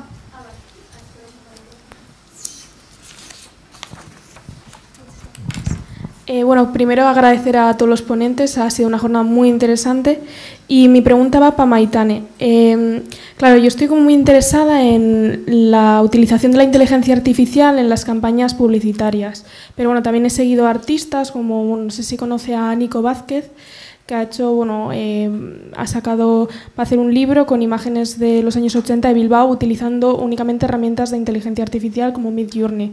Mi pregunta va si hoy en día con la actual legislación que tenemos, entonces un artista que ha utilizado herramientas de inteligencia artificial, pero luego le ha llevado muchísimo tiempo de edición, eh, el pensar, como usted ha dicho, el prom y demás, si esas obras hoy en día son si se pueden ser protegidas.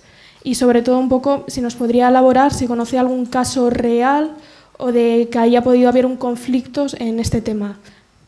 Muchísimas gracias. Gracias. Bueno, mira, eh, justo en, la semana pasada, diría yo, en el Festival Internacional de Fotografía se expusieron diversos casos en los que eh, fotógrafos y fotógrafas utilizaban la inteligencia artificial. Por eso volvemos un poco al, escenario que, me alegra mogollón que me hayas hecho esta pregunta, al escenario que planteaba de diferenciación entre obra automáticamente creada por una inteligencia artificial y obra eh, creada por el ser humano asistido de inteligencia artificial. Las personas venimos creando desde hace muchísimos años a través de máquinas y nada obsta a que esa obra pueda estar protegida. ¿Qué sucede? Que el hecho de que yo le meta un prompt eh, y trabaje en, eh, otorgar instrucciones lo más precisas posibles no me convierte en pintora, no me convierte en fotógrafa. Veíamos eh, casos en, el festival en los que por ejemplo, había fotógrafos y fotógrafas que habían cogido desde fotografías pues de, una determinada etapa histórica hasta fotografías de su propia familia. Y a través de inteligencia artificial habían recreado nuevos escenarios, etc. ¿Qué sucede ahí? Es que, hay un acto de transformación, ¿vale? Esto es un poco drogadura, ya lo siento. Un acto de transformación supone que yo cojo una obra preexistente y la transformo en otra en función de cuál sea esa intervención humana, de hecho, uno de los parámetros que está analizando la Unión Europea a la hora de intentar aterrizar todo esto es cuál, cuál es el porcentaje de intervención humana. Porque la intervención humana es yo le he dado los prompts, me ha quedado las fotografías o las imágenes y yo le he subido las luces y le he dado cuatro toquecitos, evidentemente ese escenario probablemente sea una, resolución de que se trata de una foto o una eh, imagen en, dominio público. ¿vale? Sin embargo, si se puede acreditar, por esto aquí vamos a tener el blanco, el negro y la gama de grises de la que vamos a vivir personas como yo. ¿vale? O sea, es importante que los abogados y las abogadas también paguemos facturas. Entonces, va a depender muchísimo de la prueba. Es verdad que, como norma general, salvo que la persona indique que ha utilizado inteligencia artificial, vuelvo a lo mismo. Es muy complicado a día de hoy eh, poder acreditar o poder saber si una obra ha sido creada por una máquina, por un ser humano, por un ser humano y una máquina o por una máquina con un ser humano. Y en eso sí que vamos a tener que, invertir. Sí que es verdad que hay estos dos procedimientos que te comentaba, que lo que sucede con ellos es que entidades de gestión y plataformas eh, masivas que han adquirido derechos de propiedad intelectual se han, demandado a herramientas como Midjourney por infracción de eh, los derechos de reproducción y los derechos de transformación. La reproducción es la fijación de una obra y la transformación, como os comentaba, es la modificación. Entonces, presupone que la inteligencia artificial coge todas esas imágenes que están protegidas por propiedad intelectual y genera una especie de collage, porque en realidad crea basado en creaciones anteriores. Entonces, ese es un poquito el escenario que tenemos actual, aunque tenemos os decía, eh, tres tipologías de, planteamientos a día de hoy, sobre todo a nivel europeo, que, una de ellas era lo que os comentaba, el reconocimiento de personalidad jurídica a los robots y, por lo tanto, otorgarles derechos. La otra, que es la opuesta totalmente, es todas las, todas las obras que sean creadas por inteligencias artificiales se quedan en dominio público. Y hay una tercera, eh, bueno, una tercera reflexión que habla de otorgar un derecho sui generis como el que se les otorga a las, bases de datos. Es decir, los creadores de bases de datos en sí mismos puedes crear bases de datos, de, datos, de, por ejemplo, de carácter personal o bases de datos de películas. Y la base de datos en sí misma, independientemente del contenido que tenga, tiene una protección limitada, solo tiene 15 años de protección, pero permitimos equilibrar a, las personas físicas y jurídicas que invierten en innovación y a la vez seguir manteniendo bueno, esa eh, posición antropocéntrica del reconocimiento de la creatividad. Gracias, Maita. Ah, perdón, ¿quieres? Ah, gracias, ¿Alguna otra pregunta, cuestión? Sí. Ricardo. León, buenas tardes. Felicitar a todos los componentes de la mesa y al moderador que lo ha llevado muy ágilmente y además con un ritmo absolutamente férreo. Bueno, yo quería rizar el rizo, yo no soy jurista, soy médico, y, pero pertenezco a una familia de juristas, de abogados. Y la pregunta es a Maitane respecto a lo siguiente, de la propiedad intelectual. Yo tengo escuchado en casa, en mi familia, eh, que cuando un abogado eh, lleva a cabo un pleito que llega por sucesivos recursos hasta el Supremo, y con los argumentos jurídicos, sea cualquiera la especialidad, civil, contencioso administrativo, penal, fiscal, eh, mercantil, etcétera, que cuando lo gana sienta jurisprudencia.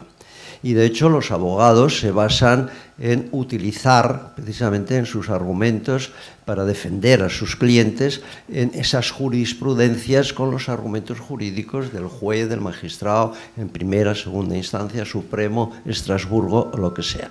Bien, ese abogado que gana y que sienta jurisprudencia, tiene derecho a eh, registrar la propiedad intelectual de ese caso? Pregunto. Ojalá. A ver, yo os lo prometo. Hay demandas, tened en cuenta que me dedico a un sector que no es demasiado conocido por jueces y juezas, lo cual me obliga a ser especialmente divulgativa, didáctica y explicar extremos relacionados con la tecnología y con la creación que habitualmente no llegan a un juzgado.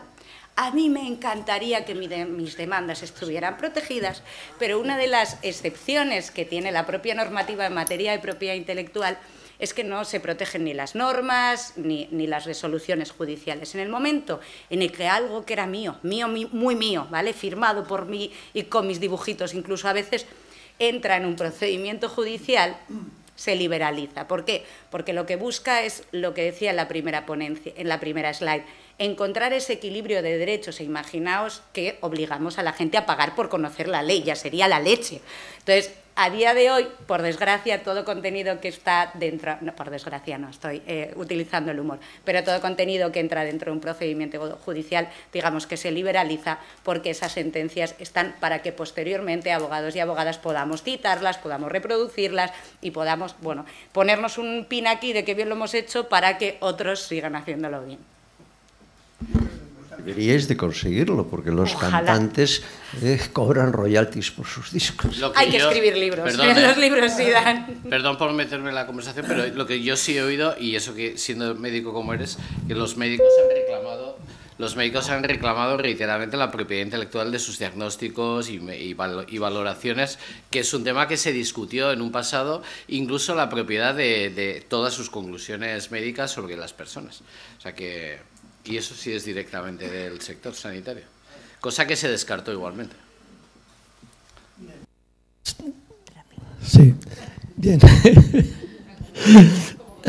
bueno, por, lo que veo, yo sé muy poco de eh, inteligencia artificial, pero en sus aplicaciones veo los datos eh, son fundamentales y el manejo de estos datos.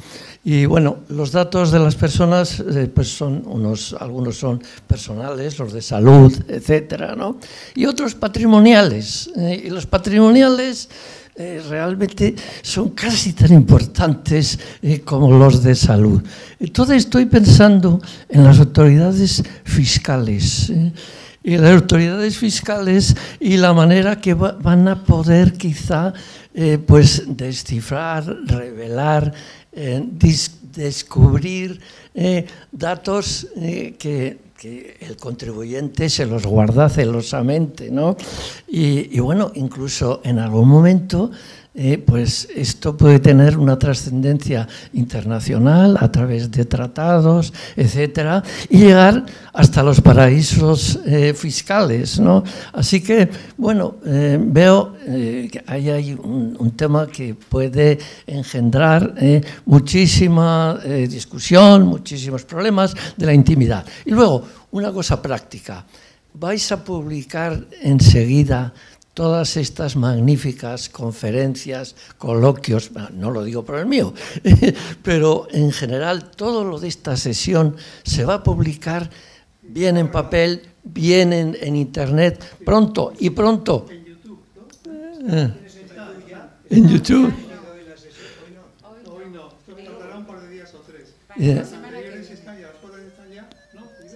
Y va a estar todo, y va a estar todo, ¿no? Bueno, bueno. Bueno, pues en, enhorabuena, Sorionak, habéis estado fenomenales. ¿Un comentario, pregunta, aportación? Eh, una, una cuestión por comentar la última, yo, yo, yo aquí, que yo aquí. Eh, sí, lo sé, lo sé. 30 segundos. Por comentar la última intervención. Has dado el clavo. Has dado el clavo. Eh, las autoridades fiscales están trabajando en la aplicación de inteligencia artificial para la detección. Y no solo las autoridades fiscales, sino ya hace muchos años la banca banca y seguros, la predictibilidad basada en análisis del dato, la compartición de datos entre banca y seguros es una realidad y están analizando perfiles para analizar perfiles de riesgo, perfiles convenientes y no convenientes y denegando productos financieros a personas que no son convenientes en base a inteligencia artificial. O sea que has dado el clavo.